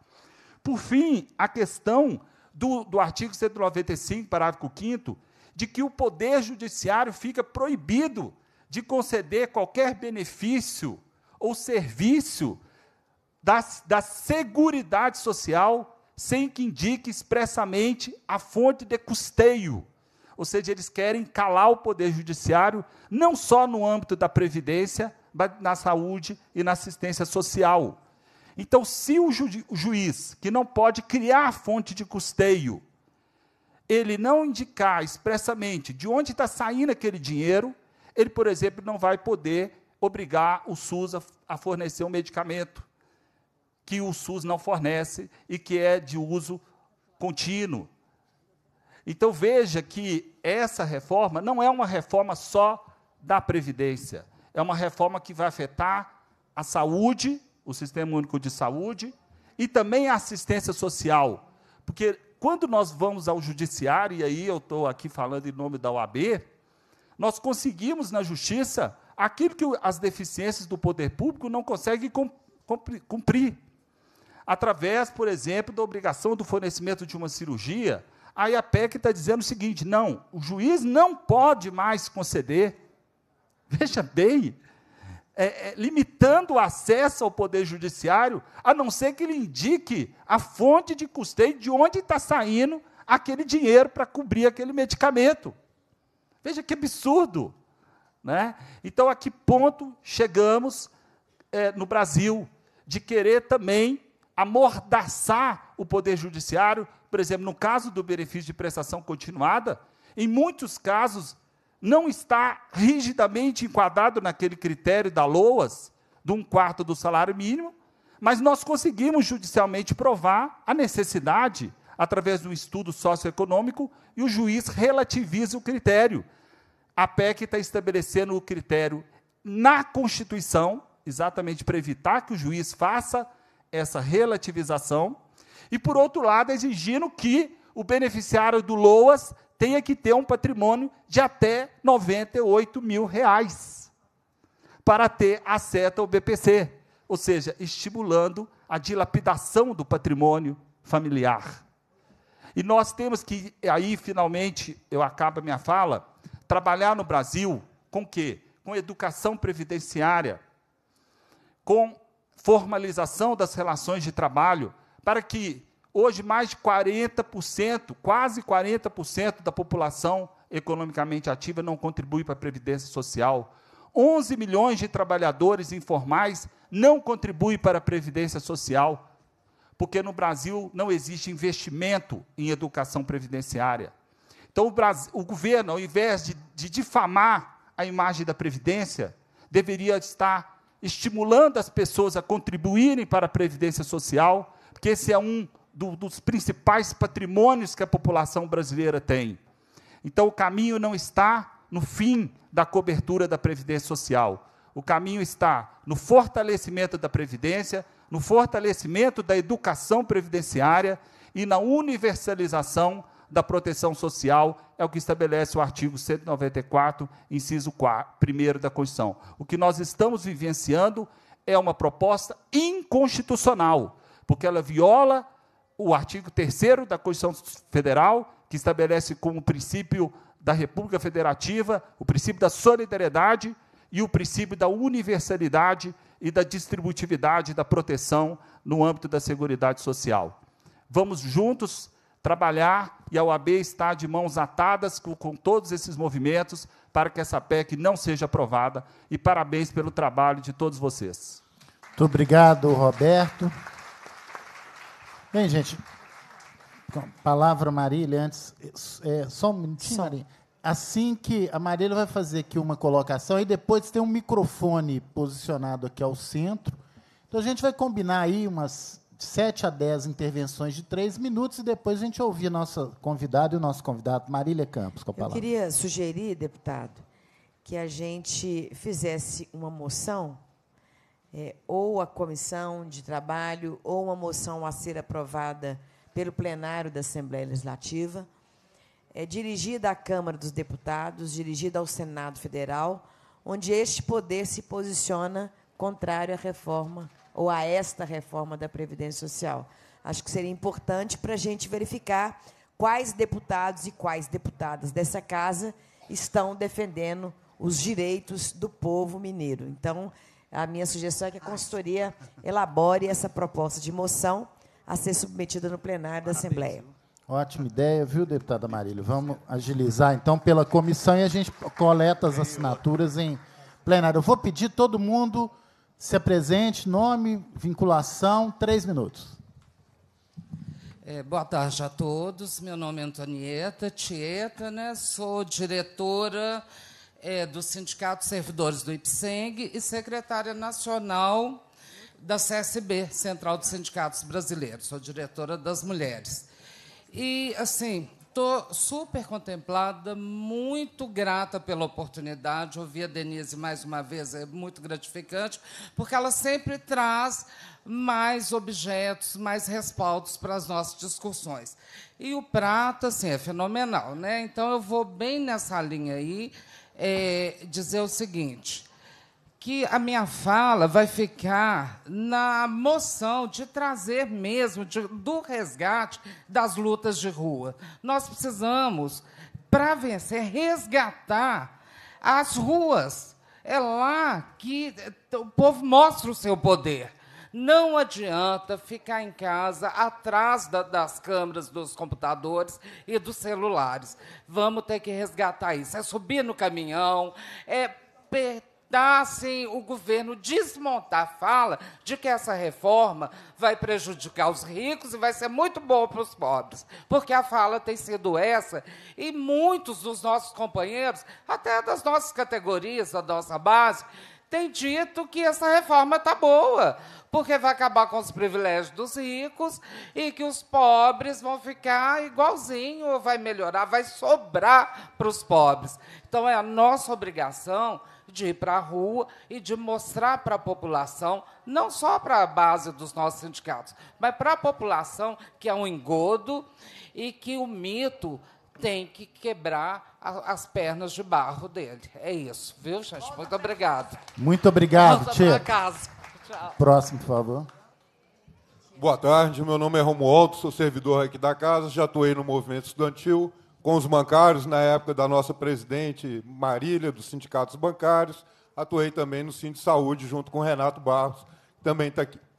Bom, é, senhores da mesa, palestrantes, obrigado pelas informações enriquecedoras e que nos preparam e nos motivam para a luta. Mas eu gostaria de destacar dois pontos colocados pelo companheiro Prata, que eu achei importante, porque tocam no dedo, da, é, tocam o dedo na ferida. Tanto do ponto de vista tático quanto do ponto de vista da análise. Do ponto de vista tático, realmente não faz sentido nós ficarmos o tempo todo é, convencermos a nós mesmos o quanto a Previdência é ruim para a gente, né? pegando esse público aqui, grande parte servidor público. Eu acho que a nossa prioridade tem que ser os nossos aliados. Nós temos que trabalhar junto com os nossos aliados, porque o governo está falando para os nossos aliados que nós somos os inimigos deles. Então nós temos que desconstruir isso, atuar diretamente junto aos nossos aliados naquilo. Então, é, com relação à abordagem a deputados. É interessante, né? Vir aqui, abordar deputado, nos dá uma sensação até né, bacana, toma um cafezinho lá, água mineral, né, quem sabe rola um refri, né? Mas passar com carro de som na base, onde ele pega os votos dele, não tem paralelo. Tá certo? É chegar lá e falar assim, ó, esse cara aí que você votou nele, tá te ferrando vai arrebentar com você, você vai ficar pobre, você vai ficar ferrado, você não vai ter assistência na sua aposentadoria. E, e, e aí eu acho que faz muito mais efeito do que a ação aqui. Uma coisa não exclui a outra, mas eu acho que a nossa prioridade tem que ser sim. Como o Prata colocou, com os nossos boletins, com carro de som, lá onde ele batalha os votos dele. Para finalizar, a questão da análise, é importante que ele colocou que mais que a destruição da Previdência, é a destruição do Estado Social brasileiro. Confere? Eu queria ver se nessa linha a gente poderia ir mais longe. É a destruição da própria economia do país no seu conjunto. É um retorno até um Estado pré-capitalista. Na medida que, na geopolítica, na conjuntura atual, o Brasil deixa de cumprir um papel até enquanto acessório do capitalismo na América Latina. O Brasil, enquanto concorrente de outros países centrais, passa a ser um país desinteressante. Então, a reforma da Previdência ela tem que estar junto com a destruição da economia, que começou com a dupla de ladrões notórios, Moro e Dallagnol, para quebradeira das empresas, tá certo? de toda a destruição, até o agronegócio, até brinca que vai ter um tempo que o agronegócio, o pessoal do agronegócio vai falar assim, que saudades que a gente achava que o nosso maior inimigo era o MST porque agora a gente está perdendo exportação para a China, quer dizer, ganhou dois caminhãozinhos de abacate para a Argentina, onde antes a gente exportava avião. Né? Então você tem milhares de desempregados num processo de precarização do trabalho e destruição da nossa própria economia. Vai sobrar o que para o brasileiro?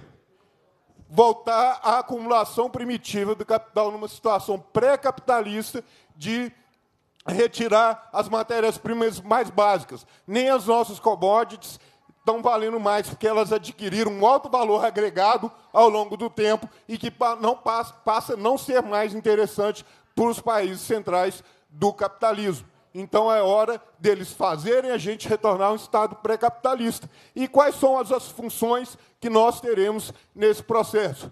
Bom, com relação às mulheres, o Bolsonaro já disse, ofertando elas para é, o, o, o turismo deleite sexual dos turistas estrangeiros. Obrigado. É, queria agradecer a presença da Dakota Janganga, representa o deputado federal subtenente Gonzaga. Próximo, por favor. É, meu nome é Marcelo Vilela, eu sou militante do PT-BH.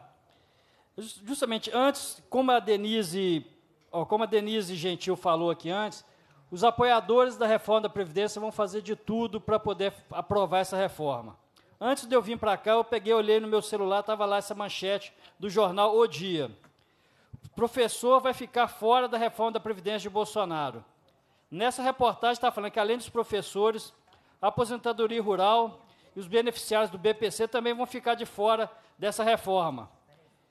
Tudo, tudo confirmado pelo deputado Marcelo Ramos, do do PR do Amazonas. Eu queria que vocês, de repente, comentassem a respeito do que realmente serve realmente verdade essa informação e se realmente pre precede isso aqui. Obrigado, Marcelo. Próximo, por gentileza. Boa tarde. Meu nome é William de Sá. Eu sou usuário do BPC há 10 anos. E digo para vocês, é, sou conselheiro da assistência social, representante do FM SUAS no nosso Conselho Municipal de Belo Horizonte. E digo para vocês, o que estão tentando fazer com, com os usuários do BPC é uma baita de uma sacanagem, viu? Isso é muita covardia.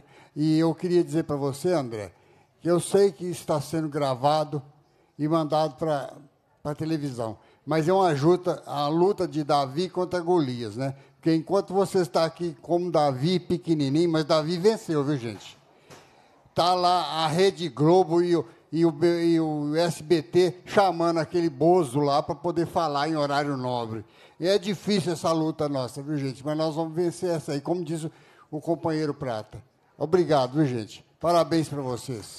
Obrigado, William. Essa luta também histórica aí na assistência em Belo Horizonte.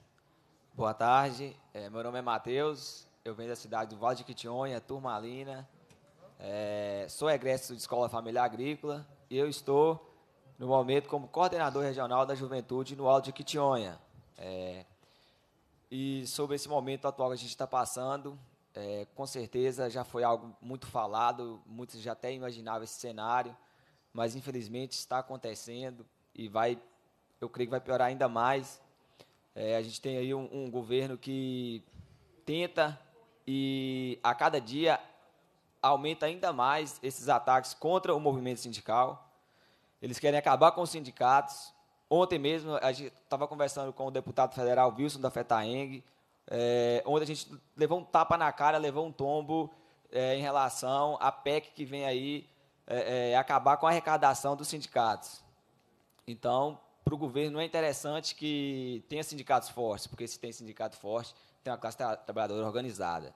E para o governo isso é interessante. Da mesma forma que ele está vindo cortando é, é, verbas para a faculdade. Faculdade é um, é, é um instrumento muito importante para ter argumento contra o governo. Então, não é interessante que essa faculdade, essas faculdades continuem fortes. Da mesma forma que a classe dominante, não é interessante para ela que tenha é, é, pessoas de pessoas pobres acessando a faculdade. Como há muito tempo, como meu pai falava atrás, faculdade era coisa de gente rica. Houve um tempo que todo mundo teve acesso, mas vai, haverá um tempo de novo que não vai ter acesso, porque a gente perdeu a consciência de classe. A classe média, a classe trabalhadora está se achando classe alta, está se achando patrão, dono do supermercado. Em cidades pequenas, tem um supermercado e ele acha que o, a renda dele ela, ela vem de não precisa de trabalhador. Então, para a gente falar de reforma da Previdência, a gente chega na base e fala, olha, se o, se o seu supermercado, se o seu supermercado continuar, acabando as aposentadorias, os, o, o, recurso que circula no município, a maior renda, vem, desse, vem, vem da, das aposentadorias, principalmente do meio rural, de acordo com o meu município. É, no dia 12 do mês passado, a gente realizou aqui na Assembleia uma audiência pública é, organizada pelo movimento sindical, pela FETAENG, pelo deputado federal Wilson da FETAENG e o deputado estadual é, Celinho Citrocel, falando com os agricultores. A gente trouxe mais de 6 mil pessoas aqui, 6 mil agricultores, para estar tá debatendo isso com eles. Então, a gente está levando informação. E eu enxergo uma luz no fim do túnel. Não agora, mas daqui, quem sabe, quatro anos. O ano que vem é ano político. Como que está a nossa organização lá na base para a gente formar novos vereadores? O que, que a gente está trabalhando enquanto liderança? O que, que o movimento sindical dos trabalhadores rurais está fazendo lá no município, de cada sindicato, para até elegendo vereador? Será que se é, é, na próxima a gente pensar para o ano que vem formar esses vereadores para daqui na próxima é, é eleição para deputado a gente não vai ter a maioria no Congresso? Se a gente tivesse a maioria no Congresso, a gente não estava passando essa dificuldade que a gente está passando. A gente não estava passando essa. não estava nesse declínio, nessa situação complicada. E todo dia a gente vê na, nas propagandas na televisão e vai aumentar ainda mais. Eles vão turbinar, porque eles tiram da educação e colocam na, na, na, nas mídias para falar que a reforma ela tem que acontecer. Podia. Só o tempo, Então, então era, era só isso mesmo e muito obrigado pelo espaço. Muito obrigado. Vou pedir o pessoal só para é, ficar nos três minutos, que ainda tem quase dez pessoas ali para se manifestar. Boa tarde. É, eu me chamo professor Danilo Lula Leal. Sou professor de ensino religioso. Infelizmente, é, me exoneraram em estado provatório dia 14 de março de 2019. É, eu era candidato a diretor da Escola Estadual Carlos Góes e não quero entrar nesse detalhe, não. É Lula na cabeça. É o seguinte, pessoal, eu vou agradecer à Câmara de Vereadores de, de, de Belo Horizonte por não aprovar a mordaça contra o professor. O professor tem que falar. Tem que falar, nem que treme, mas tem que falar.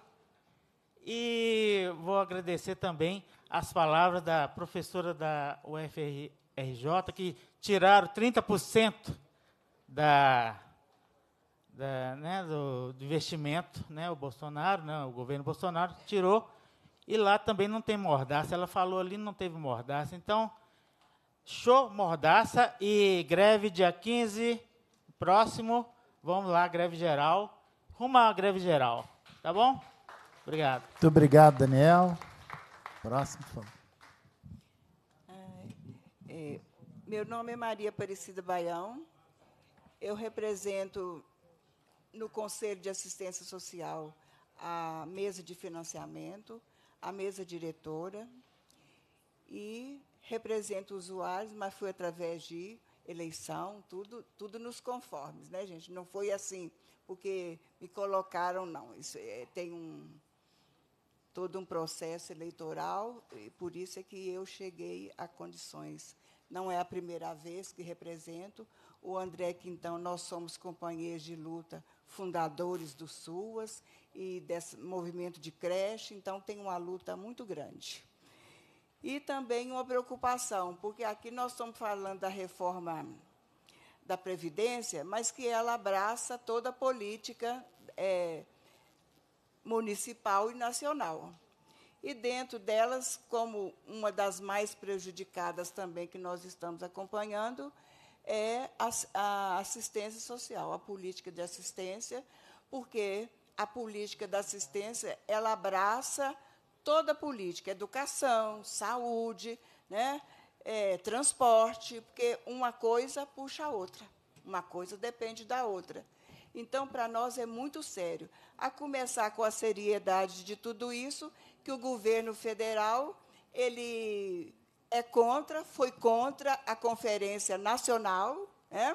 Então nós não vamos ter, porque ele acha que é bobagem, né? É, para diminuir o gasto do dinheiro.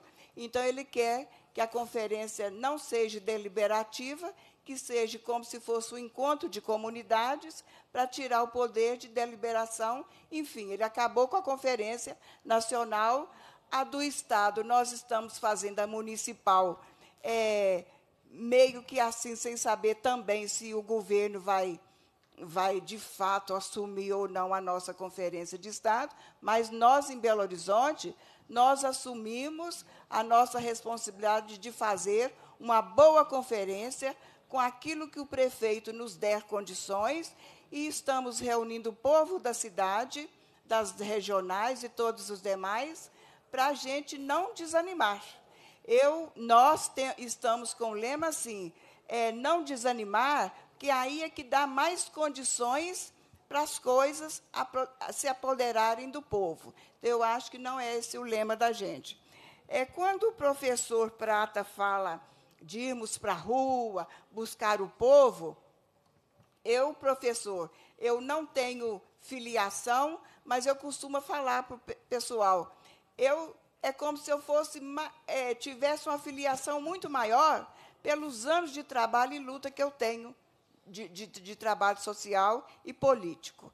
Então eu acho assim, nós estarmos na rua, nós temos que ter uma uma, um, um, um, um suporte é, do, do político, André, igual era aqui o Rogério, sempre na rua num carro de som. Isso tem que voltar. O movimento vermelho, a bandeira, eu acho assim, de vez em quando, vamos fazer um bandeiraço, vamos para a Praça da Liberdade, vamos para a Praça do Papa, igual o professor falou, não é só assim em período de eleições, não. Mostrar que o povo está vivo que nós estamos aqui apoderando, empoderando do problem desses problemas tão sérios. Né? E outra coisa, Prata, quando você fala estar na rua sozinho também, sem esse suporte, o povo ainda não acredita que o Bolsonaro é ruim, não. O povo ainda acredita que ele é bom. Infelizmente, nós, é, o, o advogado está aí, você também sabe, na questão da hora que o povo vai buscar ajuda para o dinheiro, para o remédio que está caro, ele está ali pedindo ajuda, mas ainda acredita no Bolsonaro. Né? E outra coisa que eu quero deixar. Você podia só dar uma Só para fechar. A nossa questão de uma rádio que foi fechada em confidência, essa rádio, nós temos que levantar a bandeira por ela. Porque é essa rádio no interior, nos sertões mais distantes do Brasil, é que leva notícia para o pobre para aquele que não tem um rádio, não tem uma televisão, aquele que luta todo dia para trazer a comida para a cidade, na qual, tanto lá em Brasília, o presidente está discriminando.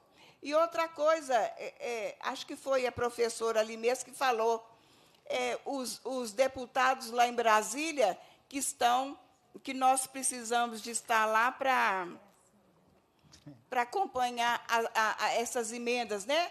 A senhora me desculpa, mas para mim eles foram escolhidos politicamente e para o povo não vale nada, não. Porque eles estão lá trabalhando é contra nós. Foi um grupo muito mal escolhido de vereadores, deputados. Aqui, se tiver um ou dois nessa lista, é que salva. Os outros estão lá trabalhando é contra o Mineiro e contra Minas Gerais. Eles não estão lá trabalhando para nós, é para o eu mesmo. Obrigada. Muito obrigado. Só é, lembrar, Aparecido, nós aprovamos aqui na Assembleia já, na Comissão de Participação Popular, uma audiência pública para discutir mobilização contra esse, essa medida do governo federal de revogação de conselhos e de espaços de participação popular. Então, a gente vai avisar a data. E com relação à Rádio Inconfidência, essa própria Comissão do Trabalho já realizou também duas audiências públicas, né? O nosso bloco, né, Marília? Democracia e Luta, nós estamos firmes em defesa da rádio em confidência. Por favor. É, boa tarde a todos. Eu sou Carlos Humberto, coordenador-geral do Sindicato dos Trabalhadores do Poder Judiciário Federal no Estado de Minas Gerais, Citraeng. Estamos na luta contra essa reforma da Previdência. Parabenizar a mesa diretora pela organização da audiência, brilhantes palestras, né?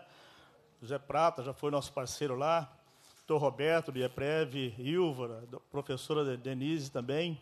Estamos juntos na Frente Mineira Popular em Defesa da Previdência Social, estamos juntos também na luta dentro do Congresso Nacional, todas as semanas lá, atrás daqueles deputados, como a colega falou, difíceis de lidar, que estão contra a gente, aí, contra o povo brasileiro, na verdade, estão destruindo a Previdência Social. Isso aí não é reforma, eu chamo isso de deforma da Previdência Social, na verdade porque estão querendo acabar com o mínimo direito do povo trabalhador.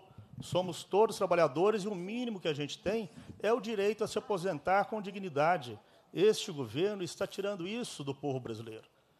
É muito grave o que está sendo realizado por esse conjunto, esse conjunto do sistema bancário que, tá, que tem é, que tem oferido assim altíssimos rendimentos nos últimos tempos né, cifras bilionárias e está querendo cada vez mais em detrimento, em desfavor do povo brasileiro. E esse governo está fazendo, é, fazendo coro junto a esse sistema bancário. Quem tem acompanhado aí as propagandas do BTG Pactual? Não queria falar nome aqui não, mas todo mundo já sabe que BTG Pactual é do Paulo Guedes. Ele está no horário nobre desde o início do ano, coincidentemente.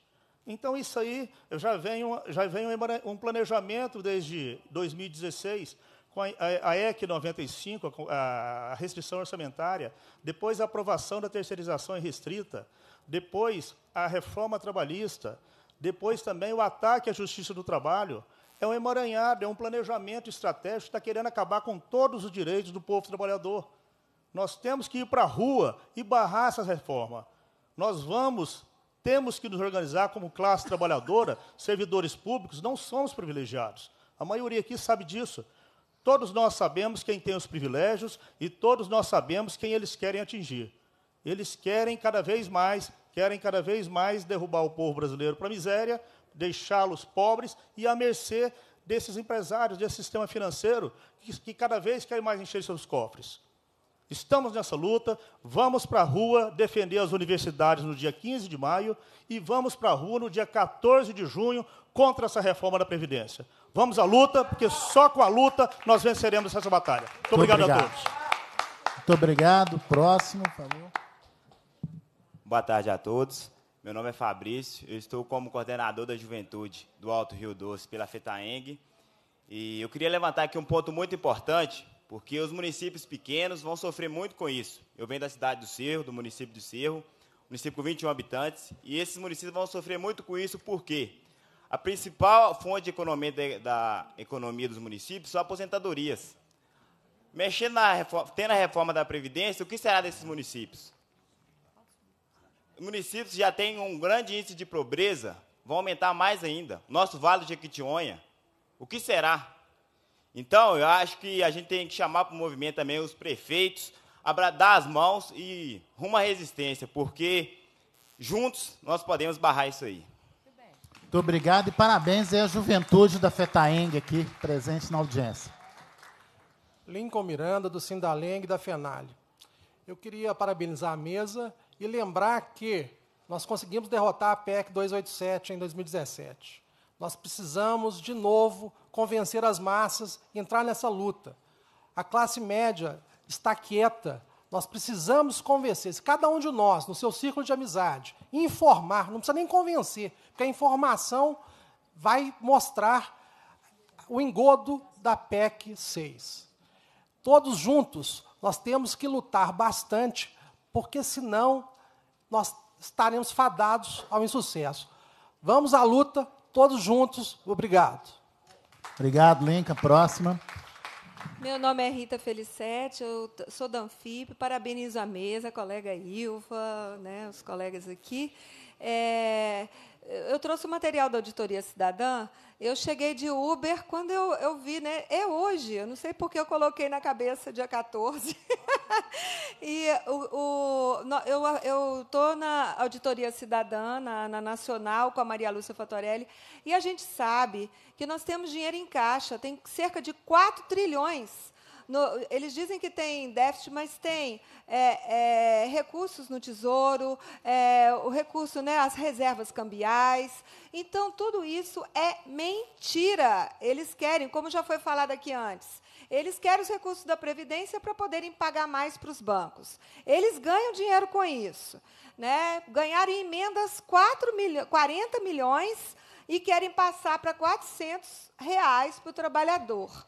É, eu tive a oportunidade de entrevistar um é, garçom chileno. Ele está há 32 anos no Brasil e ele contou que esse mesmo sistema que foi feito pelo Paulo Guedes e uma turma lá né, de Boston, lá é, fez com que os idosos ficassem à míngua. Quem visita o país está tudo bonitinho, limpinho, porque os ricos. Ele falou com essas palavras: os ricos estão cada vez mais ricos, os pobres cada vez mais pobres. E é isso que eles estão trazendo. A nossa previdência é solidária. Como falou aqui o rapaz antes de mim, 80% dos municípios recebem mais em benefícios da Previdência do que da arrecadação tributária daquele município, junto com o FPE e o FPM. Então, é, vai ser uma falência geral.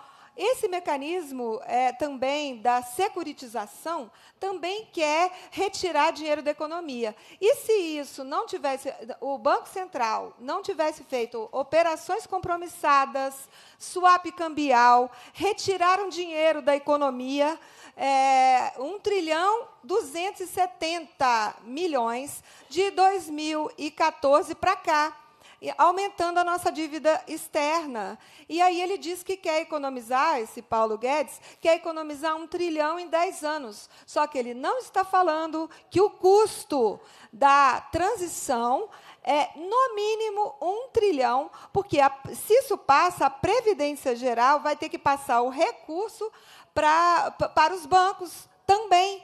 Então, vai quebrar o país, vai fazer uma Grécia né? Com tanto Chile quanto Grécia, quantos suicídios aumentaram. Então nós temos solidariedade, o povo brasileiro tem que mostrar isso. A classe média tem que entender que nós não estamos com é, falta de recursos na previdência, não. Ela é superavitária. O que diminuiu nos últimos três, quatro anos é porque enxugou o dinheiro da economia. Cooperação compromissada é o, é o, banco deixar o dinheiro lá, rendendo e tirando dinheiro das indústrias. Assim que, 15, 20 anos atrás, faliu a Gurgel, que era totalmente né, 60% nacional, a, a, a, todos as, o material. Então, se para com essa coisa de operação compromissada, se o dinheiro volta para a economia, nós vamos subir novamente, o, vai ter gente pagando a Previdência e não vai ter risco nenhum. Né? Eu, né, vamos trabalhar, mostrar para os nossos amigos, uma coisa que nós não estamos defendendo só a questão de previdência é, é pública, é, é, regime próprio, não. Nós estamos preocupados é, com o empobrecimento do Brasil, que ele está cada vez é, indo né, por falta de, de, dignidade desses políticos. Obrigado, gente. Eu estou indo porque minha mala está lá no Uber, viu? Obrigada, tchau. Obrigado, Rita. Nós temos mais um, dois, três, quatro, cinco pessoas e aí a gente volta aqui à mesa. É, é, boa tarde. Eu, eu, me inscrevi basicamente para cumprimentar a mesa, né? parabenizar, inclusive, pela, por essa audiência pública num momento importante. Eu queria estar parabenizando a Denise Gentil né, pela fala dela. Eu nunca vi essa, esse tema, austericídio, né, que está sendo provocado, inclusive, por essa reforma, né, está provocando, vai, estará provocando suicídio da população. Concordo plenamente com Prata, que agora que nós temos que fazer uma outra coisa, é rua. É mobilizar a sociedade e fazer uma discussão. No setor nossa saúde, nós temos uma reunião dia 20, eu estarei já fazendo uma discussão na nossa direção, da gente estar tá construindo o material. O material nós temos demais, é fazer a mobilização da sociedade, estar tá discutindo em todos os espaços. A minha intenção na data de hoje, né, nessa audiência pública, de estar tá aqui a representação de todas as centrais, que nós pudéssemos estar saindo aqui com o indicativo de uma greve geral mineira em, em, em, função da, como mobilizadora da greve geral que está sendo chamada para o mês, para, o mês agora de junho. Né? Mas isso não é possível. Mas nós estamos vendo aí o governo Zema também, que é rumo e apoia a reforma da Previdência, propondo fazer um acordo com o governo Bolsonaro. Que é um descalabro que ele está fazendo com o povo mineiro, quando ele faz uma proposta de está pactuando com o governo Bolsonaro, dizendo que está, ficaria sem pagar a dívida do Estado, né? e nós temos que fazer uma outra discussão, se isso interessa à sociedade. Que na data que ele fizesse, nós temos que fazer uma discussão com essa casa, com cada parlamentar, chamar o povo mineiro, a gente fazer uma grande mobilização, paralisar o Estado e dizer que não nos interessa esse pacto que o governo está fazendo e ele está cada vez mais eh, sucateando, é, sucateando a vida dos servidores públicos. Aumento do não reajuste salarial para os trabalhadores do Serviço Público Mineiro, aumentar a líquida da Previdência, que é um indicativo que ele está encaminhando, de nós irmos para a rua, contrário a isso, e fazer uma grande mobilização. E está parabenizando pela, por essa audiência pública e que nós temos, com o apoio de vocês, nos ajudando a gente fazer uma mobilização e tentar e vamos derrotar essa reforma. Muito obrigado, Renato. Próximo. Boa tarde a todos. Meu nome é Vânia. Eu faço parte de um movimento de mulheres em luta e também sou trabalhadora da saúde, o Felício Roxo, que é uma área privada, e também representante de trabalhadores da saúde privada. Primeiramente, eu gostaria de dizer que, para nós mulheres, é um prejuízo muito grande o que está acontecendo nesse país. É, nós, é, já além de trabalhar fora, temos o cuidado com casa, temos que, às vezes, trabalhar em dois empregos para dar conta do aluguel. Isso que o Prata falou, isso é muito sério. O valor do IPTU nessa cidade, o valor de mo ter moradia em Belo Horizonte é quase impossível para nós trabalhadoras. Somos chefes de lar, e tudo isso dificulta. É, o feminicídio, né, ele aumentou porque se a crise econômica aumenta, automaticamente a mulher é prejudicada. Porque se ela tem um companheiro dela desempregado, vai sobrar para quem dentro de casa? Apanha a mulher, apanha as crianças, né? E isso é, houve o crescimento, isso é real nos índices, né? Do feminicídio. E aí, é, o que nós queremos dizer com isso é porque nós não estamos conseguindo é, já é, por exemplo, as trabalhadoras da saúde, que é 25 anos para aposentadoria, é, não é real. As pessoas adoecem com 12 anos de profissão na saúde. Né? E isso, nesse momento, eu queria fazer a denúncia. Em Belo Horizonte, em Minas Gerais, o surto de dengue, de gripe, isso tem lotado as UPAs, lotado os hospitais e sobrecarregado o trabalhador da saúde, os nossos colegas médicos. E isso não dá mais para ficar desse jeito. As pessoas estão morrendo e os trabalhadores também adoecendo. Teve casos de suicídio. É, e nós temos que olhar para isso também. Não é possível admitir essa reforma da Previdência.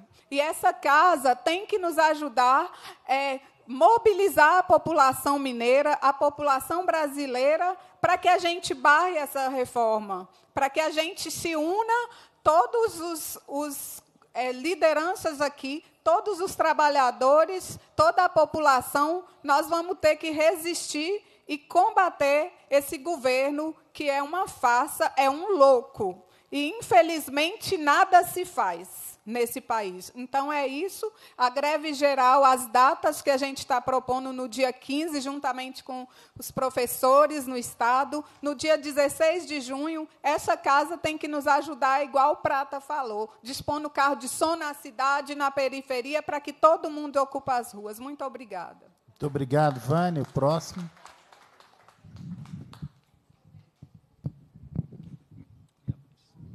Boa tarde, eu sou Pedro, sou da Unidade Popular pelo Socialismo e também do Movimento Luta de Classes. Eu acho que é muito boa a atividade, a fala dos palestrantes aí. Saiu com várias anotações e várias ideias para panfletos, jornais, para a gente também ter condição de elevar o nosso nível de discussão e trabalhar mesmo o convencimento das pessoas dos principais atingidos. Eu acho que do ponto de vista técnico as falas foram, enfim, estou bastante contemplado. Queria focar mais nessa questão da mobilização mesmo e do nosso papel frente a esses ataques. Porque o fato é que a reforma é para os pobres, a reforma ataca os trabalhadores. Esse papo de atacar, de atacar os privilégios, isso é uma, uma puta de uma balela. Que privilégio tem um trabalhador rural no país hoje? Que privilégio tem um peão chão de fábrica? Nós estamos passando por um processo de retirada de direitos, assim, e, e, e a gente pensar daqui a 20 anos, como vai estar a condição dos trabalhadores após essa PEC que retira gastos das áreas sociais? Qual vai ser a idade, qual vai ser a média né, de expectativa de vida da classe trabalhadora, sem investimento em educação, em saúde, em infraestrutura? A realidade é que o nosso povo vai morrer antes de se aposentar. Enquanto isso, os bancos e os grandes empresários enriquecendo, inclusive com esse modelo nefasto de capitalização individual, então é muito importante que a gente avance nessas denúncias. E, inclusive, a reforma não é o único ataque. Né? A gente está vivendo um processo intenso de caristia econômica, o botijão de gás a 100 reais, que o trabalhador vai conseguir alimentar sua família, o preço dos alimentos, do gás. São vários os ataques, as privatizações das empresas públicas. Então, é uma política geral que retira direito dos trabalhadores e do povo e que entrega todas as nossas riquezas ao grande capital. Então, nesse sentido, é muito importante que a gente que está aqui se foque na mobilização e na construção de um campo oposto ao que está colocado. E eu vejo muito paralelo na realidade de hoje com o que a gente viveu no ano de 2016 e 2017. Naquela ocasião, a gente teve um ataque tremendo né, do governo Temer Educação, e a resposta veio dos estudantes com as ocupações das escolas, uma greve puxada pelo setor da educação, um 8 de março é, que denunciava as reformas, que culminou na greve geral em abril de 2017. E eu acho que esse cenário se desenha para a gente de novo.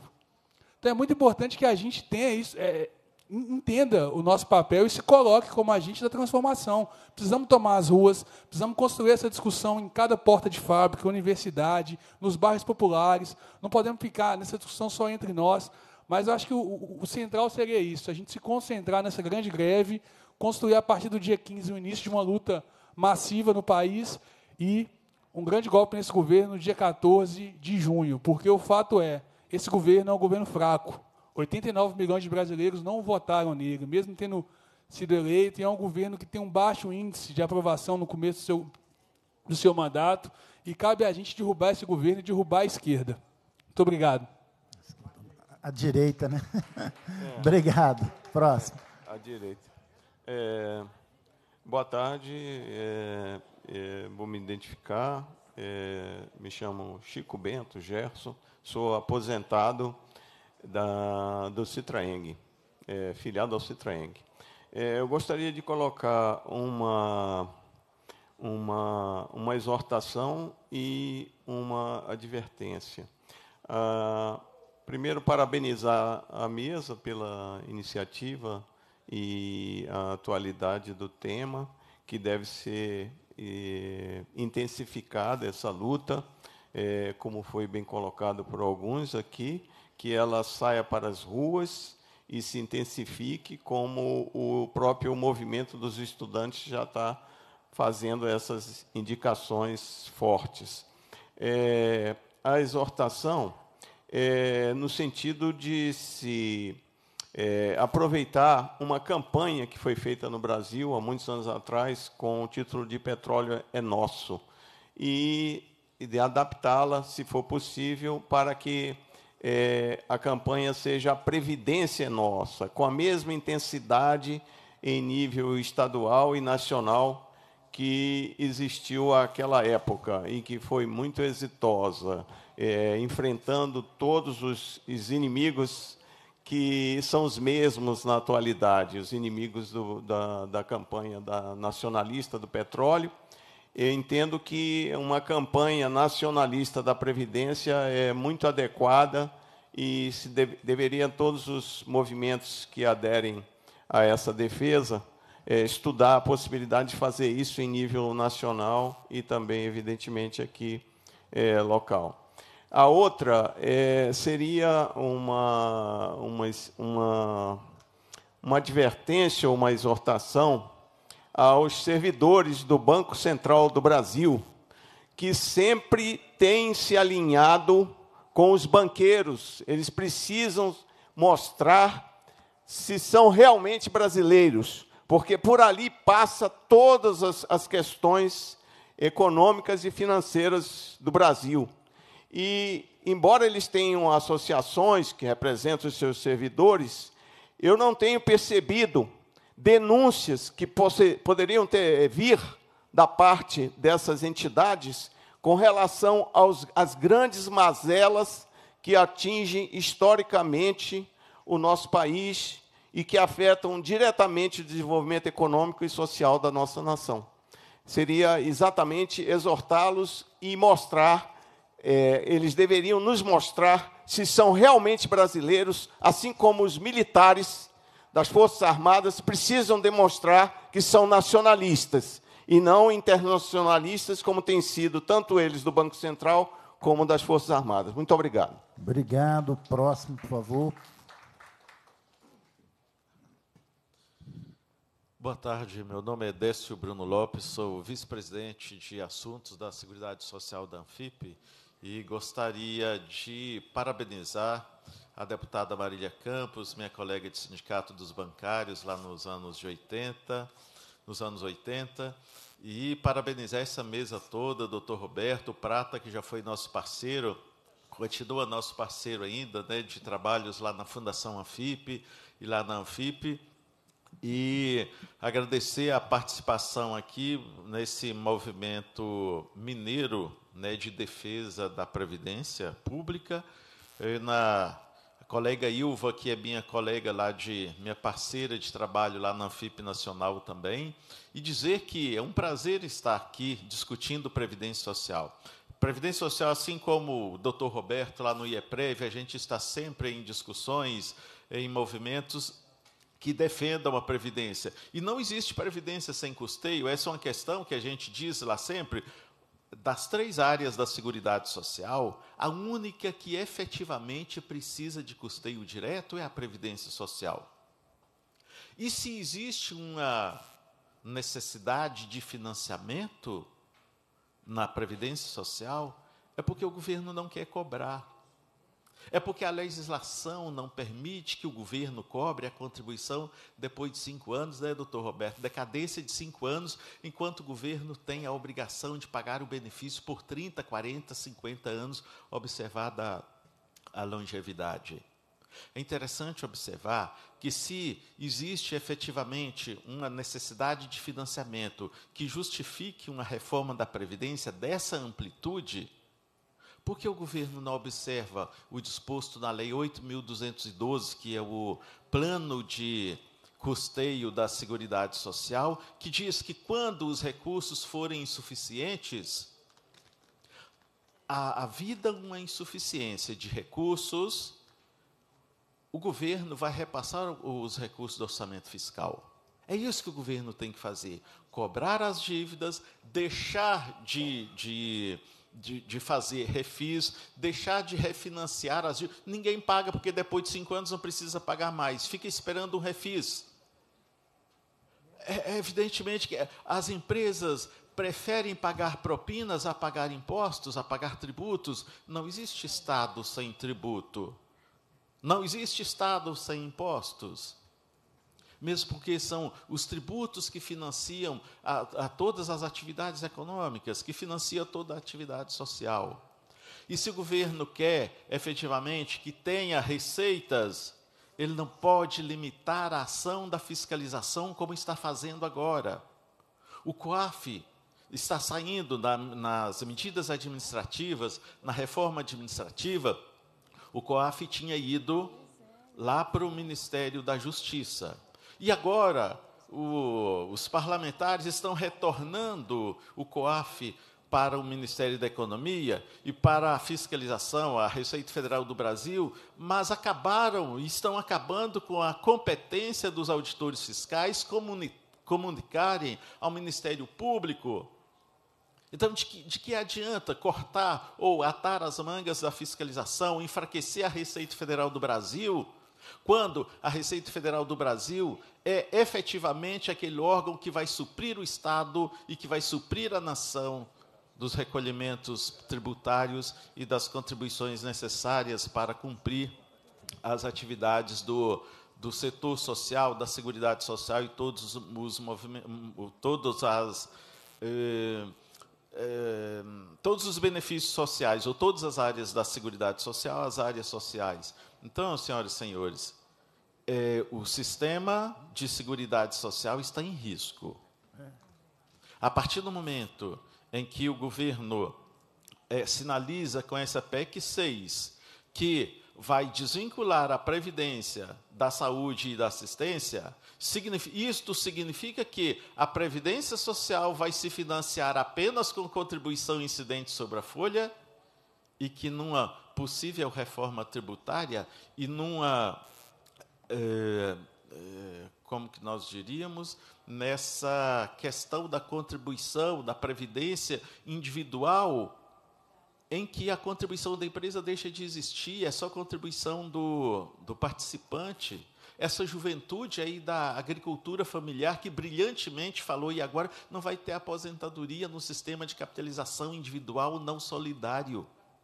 Décio, você podia só, que a gente está Conclu, concluindo. concluindo, deputado, é, agradecer efetivamente e dizer que a Anfip tem diversas obras que falam principalmente a previdência social e a economia dos municípios, que demonstra para todos os prefeitos, para, todos o, para toda a sociedade e para todos os vereadores, que se a previdência se enfraquecer, se a seguridade social for enfraquecida, daqui, e se passar o regime de capitalização, muitos municípios fecharão as portas.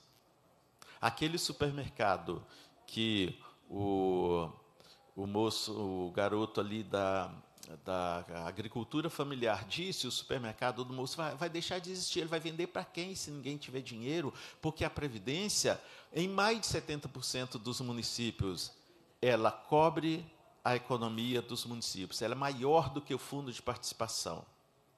Dessa forma, senhoras e senhores, regime de capitalização individual é para daqui a 30 anos ninguém, a juventude, ninguém vai ter direito à aposentadoria. Queremos dizer que nos nossos trabalhos, a Anfip vem desenvolvendo muitos trabalhos no sentido de preservar a previdência pública, preservar a seguridade social. Deputada Marília, eh, fica aí a sugestão de uma audiência pública com prefeitos, com deputados, com vereadores, para a gente falar de economia do, dos municípios, a importância da Previdência na economia dos municípios e a importância de se defender a Previdência como fonte de manutenção de muitos estados e municípios. Muito obrigado. Não é enfraquecendo a Receita Federal que o governo vai conseguir recursos para manter essa transição de um regime de de um regime de repartição simples e solidário para um regime de capitalização individual. Com certeza não o será. Grande abraço, muito, muito obrigado. Muito obrigado. Décio, o último inscrito, por favor. Boa tarde a todos. Meu nome é Mário Cerqueira.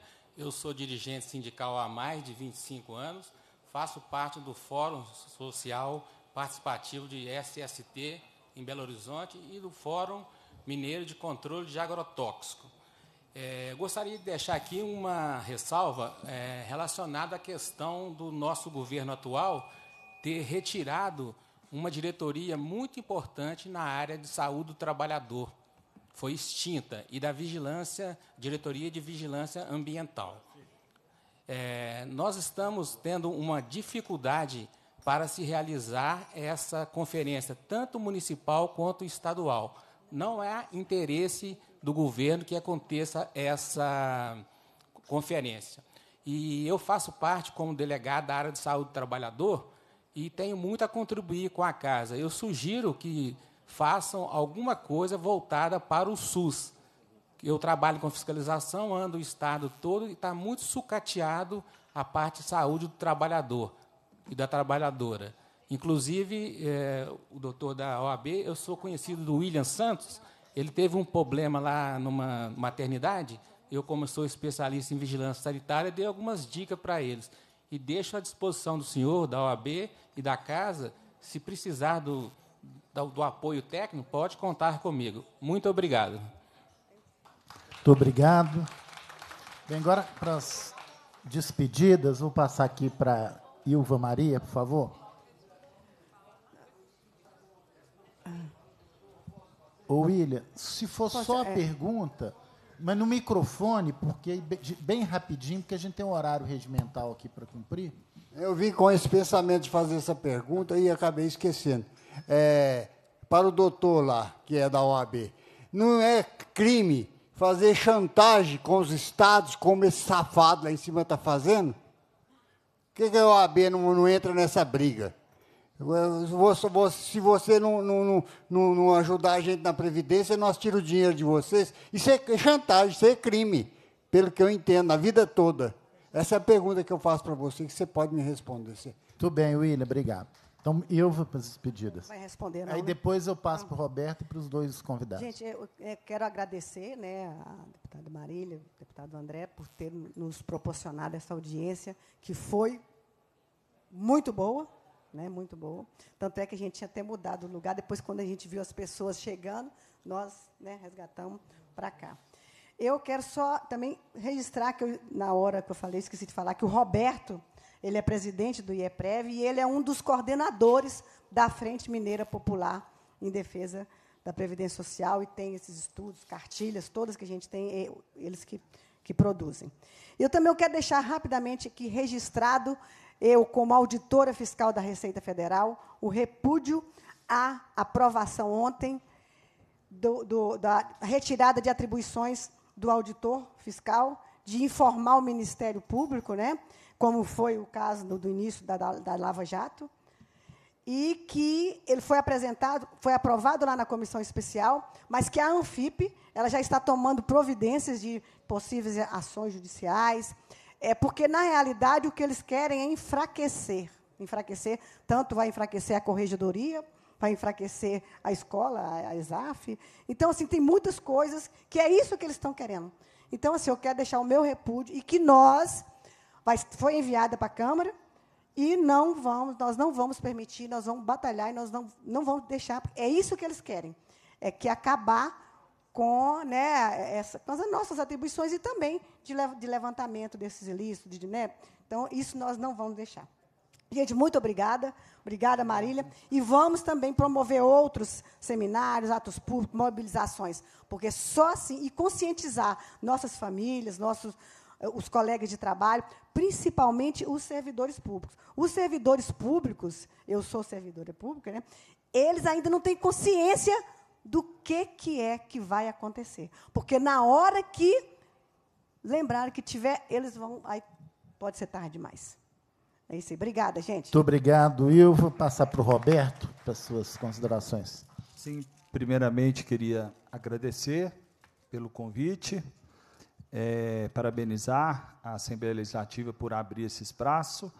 Com relação à pergunta formulada e interessada para mim, eu penso o seguinte: é, a OAB ela está muito preocupada com essa situação mas todos os encaminhamentos em âmbito de natureza criminal têm que ser feito pelo Conselho Federal do AB. Nós aqui em Minas Gerais é, podemos sim levar o conhecimento do Conselho Federal, suscitar essa questão. Entendemos que, se não configurado o crime, isso ao menos configura uma grave violação ao princípio da moralidade, né, um desvio de finalidade é, do ponto de isso pode até configurar uma questão de crime de responsabilidade, mas isso tem que ser apurado pelo setor, pelo Ministério Público, principalmente, mas com base nessa sua é, provocação, vamos dizer assim, eu me comprometo a levar aos setores competentes da OAB, ok? Agradeço muito a intervenção de todos vocês e, e fico sempre à disposição lá na Frente Mineira, no Instituto e na OAB, ah, para que nós somemos força nessa luta contra a PEC 06 de 2019. Muito obrigado, Roberto. Passar para o Prata, companheiro economista e especialista em previdência social. Pessoal, só terminando então, é, depois de muito cobrado, o governo Bolsonaro apresentou chamado impacto financeiro da reforma. Diz que a reforma é a favor do, do, do, dos pobres. Na, na economia que está falando que vai fazer de 1 trilhão e 200 bilhões, o estudo servidores só tem impacto em servidores federais, não tem nesse estudo deles, nem servidor estadual nem, nem municipal. Vou pegar aqui 1 trilhão e 200. 808 bilhões é no INSS. 35 bilhões no BPC. 170 bilhões no abono salarial. É só corte dos pobres. É a aposentadoria do pobre, é a pensão, é o BPC, é a, a, a, o abono salarial, um trilhão de um trilhão e duzentos é só INSS e programa voltado para a população mais pobre. A questão do, do, do, do, do então, não tem um estudo mais, mais aprofundado, tá certo? Mas aqui está claro que 85% é corte no INSS. E você sabe que o INSS, a aposentadoria média é 1.300, parece, não é isso? Então, é, é, é esse estudo está aí, né? depois de muita pressão, eles apresentam. capitalização, não apresentaram estudo, faz uma, uma mudança gigantesca, não tem estudo, porque se apresentar o estudo, vai ver que é inviável. Esse Paulo Guedes, vamos, dizer, vamos dar o nome abertamente, esse cara não é aquilo que o Lula falou, isso é um louco. Esse cara está cabeça branca, nunca foi convidado para um governo para participar de nada. Eu levantei os custos, pus no Google lá, custo da transição na Europa. Você sabe quanto que deu, André? Na Europa, a capitalização custaria 150 trilhões, 35 trilhões de euros. 160 trilhões seria o custo na Europa. Só esse louco, tem um cara, da, da, um professor do Chile, que fala o seguinte: capitalização com privatização é só de ditaduras. Democracia não tem como, mesmo democracia imperfeitas, não tem como aprovar uma barbárie dessa. Tá certo? Ô, gente, agora eu, para terminar aqui, passar uma visão mais otimista para vocês eu acho que a, a gente está meio, tá meio cabisbaixo, tá certo? Não está percebendo o que está acontecendo na sociedade. Bolsonaro está forte. Mas não trouxe aí a pesquisa da Datafolha? A pior avaliação do governo desde que a democracia voltou no Brasil em 83? 85, parece? Pior avaliação do governo. O ruim e o, e o, o ruim, o, ruim, o péssimo ruim dele está batendo com o bom e ótimo já. Começou com 60% de bom e ótimo, hoje está na faixa de 32% por aí. Então o governo está frágil. Como é que é? Não, tem diversas pesquisas. A Datafolha deu empate, tá certo? 33, 32 por aí, não é? Outra coisa fundamental, gente. A reforma dele não pôde ser acoplada do Temer, já poder votar na comissão especial, não é isso? Começou do zero. Nós estamos debatendo agora a constitucionalidade, agora que teve a primeira reunião de comissão especial, agora que o pau vai quebrar. É agora que está debatendo, conteúdo. Então, essa reforma está muito atrasada. O Temer, você lembra que ele adotou o, o, o lema de semipresidencialismo? O que, que é isso? O presidente governa com o Congresso, distribuiu os ministérios e não fazia outra coisa na vida dele, senão receber deputado, não é isso? Passava o dia, conversava com 300 deputados a cada mês. Aprovou a reforma? Não aprovou. Não é fácil para qualquer governo, em país nenhum do mundo, aprovar uma reforma de Previdência. É o tema mais espinhoso do planeta hoje. Mais espinhoso. Então não é fácil. A gente, eu fico vendo, a Rede Globo põe lá e falsifica as pesquisas lá, o nego nosso começa a ficar já um pouco em dúvida, será que não vão aprovar? Não é fácil aprovar. O povo está contra. Eu converso com você, eu chego à Praça 7, brinco o seguinte aqui, quem votou em alguém para piorar, para caçar o seu direito da Previdência? Quem votou no fim da CLT? Ninguém votou nisso. As pessoas votam para melhorar de vida, não é isso? É, é, impossível, se você detalhar os pontos da reforma, alguém aprovar uma coisa dessa. Só, só uns 10, 20% de, de, de empresários e gente ultraliberal. Né? Quantos deputados hoje apoiam convictamente a reforma? 100. Esse precisa de 300. A reforma já pode ser votada daqui dois, seis meses no, no, no cronograma deles. Eles têm 100 deputados. E olha que é 100 que inclui todo o PSL, que é deles. Eu quero ver na que sair a greve nacional dos policiais se a bancada policial do PSL vai apoiar essa reforma integralmente. Não é fácil. Não vai ser fácil apoiar essa reforma. Por que, que a área rural, a aposentadoria rural pode cair? Sabe por quê? Porque a frente ruralista dos grandes empresários rurais tem voto entre os trabalhadores rurais. Vai cair porque tem, nós temos o Wilson da FETAENG, a bancada de trabalhadores rurais é majoritária? Não. É porque o, o, empresariado rural que é deputado tem voto em Itapiãozada. E sabe que se votar contra eles, vai perder as eleições, não é isso? Então não é fácil, gente. É, outra questão fundamental. Quando você, por que, que o Bolsonaro e o Paulo Guedes desesperaram quando a, a, a Comissão de Constitucionalização ia já entrar em, em termos importantes? Sabe por quê? Quando você abre as porteiras na negociação, vai tudo. Abriu para o BPC, o cara falou, ah, é, então eu também. Abre lá para a aposentadoria rural. Aí os policiais querem, os servidores que têm a aposentadoria integral vai ser adiado, vai querer. Aí vai. Não é fácil fechar, sabe por quê? O Congresso representa, o Congresso brasileiro é muito fragmentado. Ele representa setores sociais muito diversos.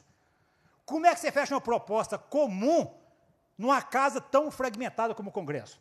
Você aprovou, para você essa proposta é boa, salvou seu, seu eleitor. Mas a, a minha base não quer, quer isso, é outra coisa diferente. Então, fechar uma proposta comum é dificílimo.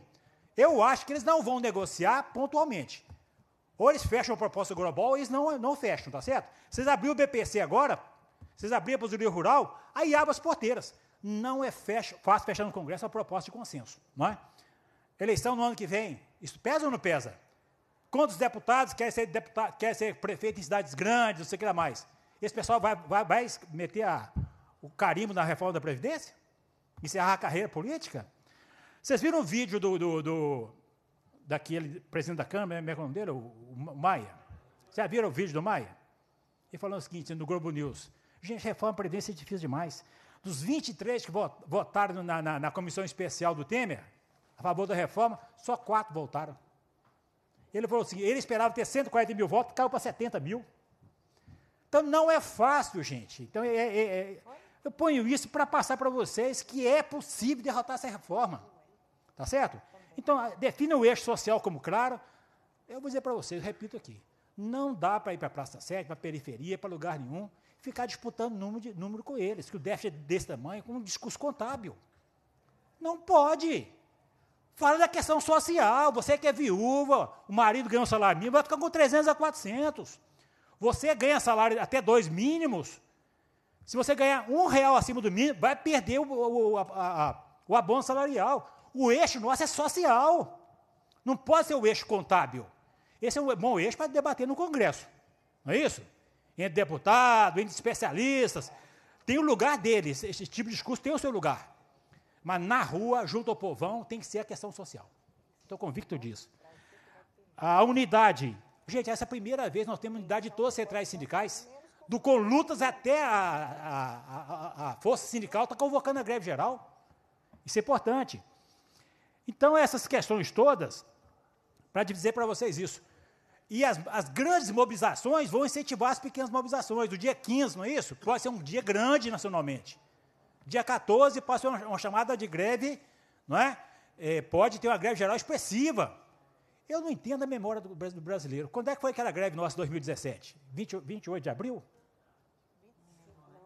29 de abril? Nós fizemos a maior greve geral da história brasileira e ela sumiu da memória popular de esquerda. Eu não, eu, eu digo para eu não consigo entender uma coisa dessa no Brasil. Eu não consigo entender. 17 capitais viraram, pararam totalmente.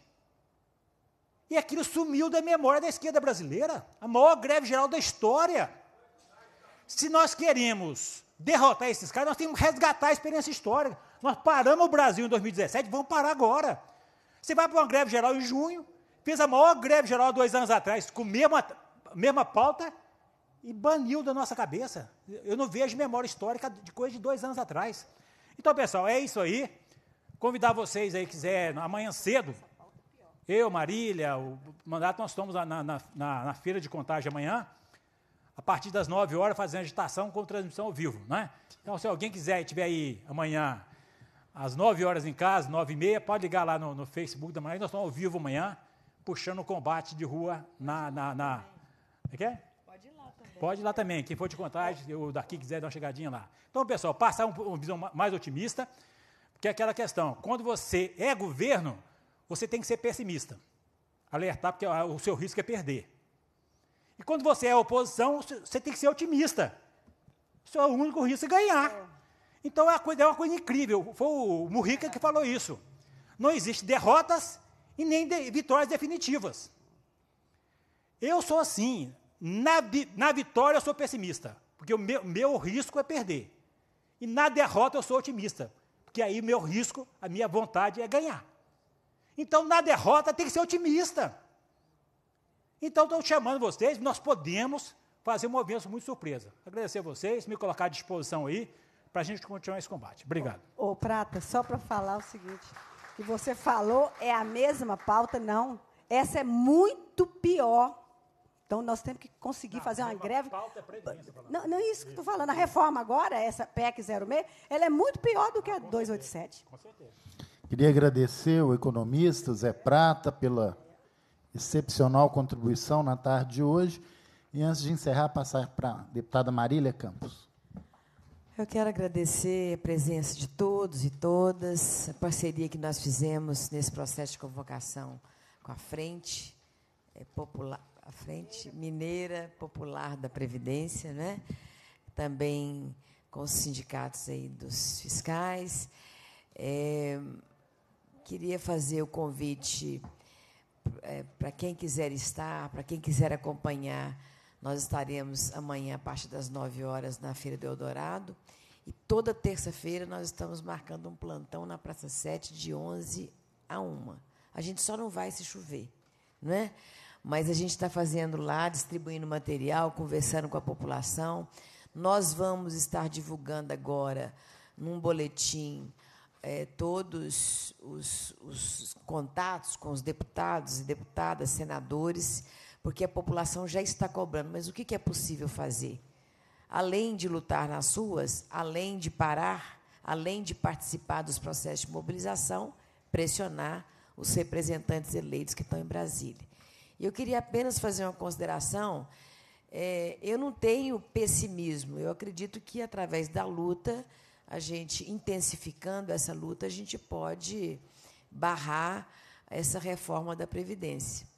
Só que é, eles é, podem montar uma estratégia de é, não, não sustentar a aprovação de, de mudanças que o povo entende, por exemplo, a, a, que afeta o trabalhador rural, a diminuição do valor do BPC ou a diminuição da pensão, é, então que eles chamam de desidratar a reforma e manter os princípios que é a capitalização, que é a desconstitucionalização, a, desvincula, a desvinculação, a desindexação, porque esses, esses nomes muito grandes e complexos, eles não são populares. Isso eu falo porque quando se discute isso, eu tive em Ribeirão das Neves para me explicar capitalização assim, fui muito didática, Cadu estava lá, para tentar, Maguinho também, para tentar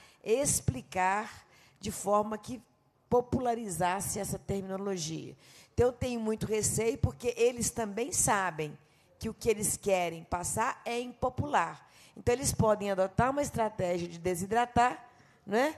É, e depois, por exemplo, se desconstitucionaliza, fazer as mudanças através de lei complementar, porque o coro é muito menor. Então, para mim, não é uma questão de pessimismo ou de otimismo. É uma questão de que eles não vão medir esforços, inclusive montando estratégias para tentar aprovar, não é? é? ou ela do jeito que está, ou ela desidratada e depois aprovar através de emendas constitucionais. Então, é momento da gente é, ocupar as ruas para garantir as informações né, e participar das greves, das lutas, nessa perspectiva de pressionar os representantes eleitos daqueles que já estão governando, a gente tentar voltar eles para casa. Né? E daqueles que estão lá no Congresso, ameaçar. Se votar, não volta. Obrigada, gente. Valeu. Obrigado, deputada Marília. Então. Agradecendo ao Roberto, à Ilva, ao Prata e também à professora Denise, que se ausentou para dar uma entrevista. É agradecer a presença de todos, parabenizar, viu, Marília, pelo seu material, tanto a cartilha, viu, Prata, a publicação de formação, quanto o jornal, mas eu tenho usado ele, inclusive, nas minhas palestras e, e, locais que a gente tem ido, tem muita informação, e a audiência hoje foi muito importante para isso. É lógico que a nossa luta é daqui para a rua, mas aqui a gente se prepara para ir para a rua com argumentos consistentes, porque o lado de lá também tem contra-argumentos falsos. Né? Então é muito impo importante também, porque a TV Assembleia reproduziu para toda Minas Gerais ao vivo, e é, inclusive nas falas, a gente pode editar, sabe, Marília? Usar, fazer uma, uma, uma edição, usar as fitas, passar, porque foram falas muito boas e consistentes e com argumentos e explicando, traduzindo. Né? Às vezes a pessoa não tem o tempo para ler tudo, mas ela ouve e capta aquela coisa que é central. Né? Então, acho isso muito importante. Já a terceira audiência sobre Previdência que a Comissão do Trabalho é, realiza, então a gente e o nosso bloco, né, Marília? Democracia, nós estamos firmes é, nessa luta, a gente sabe que vota lá, mas mobiliza é aqui. Então, o que a gente pode fazer enquanto deputados, parlamentares, deputada, é estar junto com a luta do povo, a luta sindical, juntos aí para a gente resistir. Sou como prata também. Nós temos que ser alimentar né, nossa alma, nossa luta, nossa energia para barrar os retrocessos. Muito obrigado. Encerrada, cumprida a finalidade, deputado. Presidência agradece a presença convoca os membros para a próxima reunião ordinária, determina a lavratura da ata e encerra os trabalhos. Muito obrigado.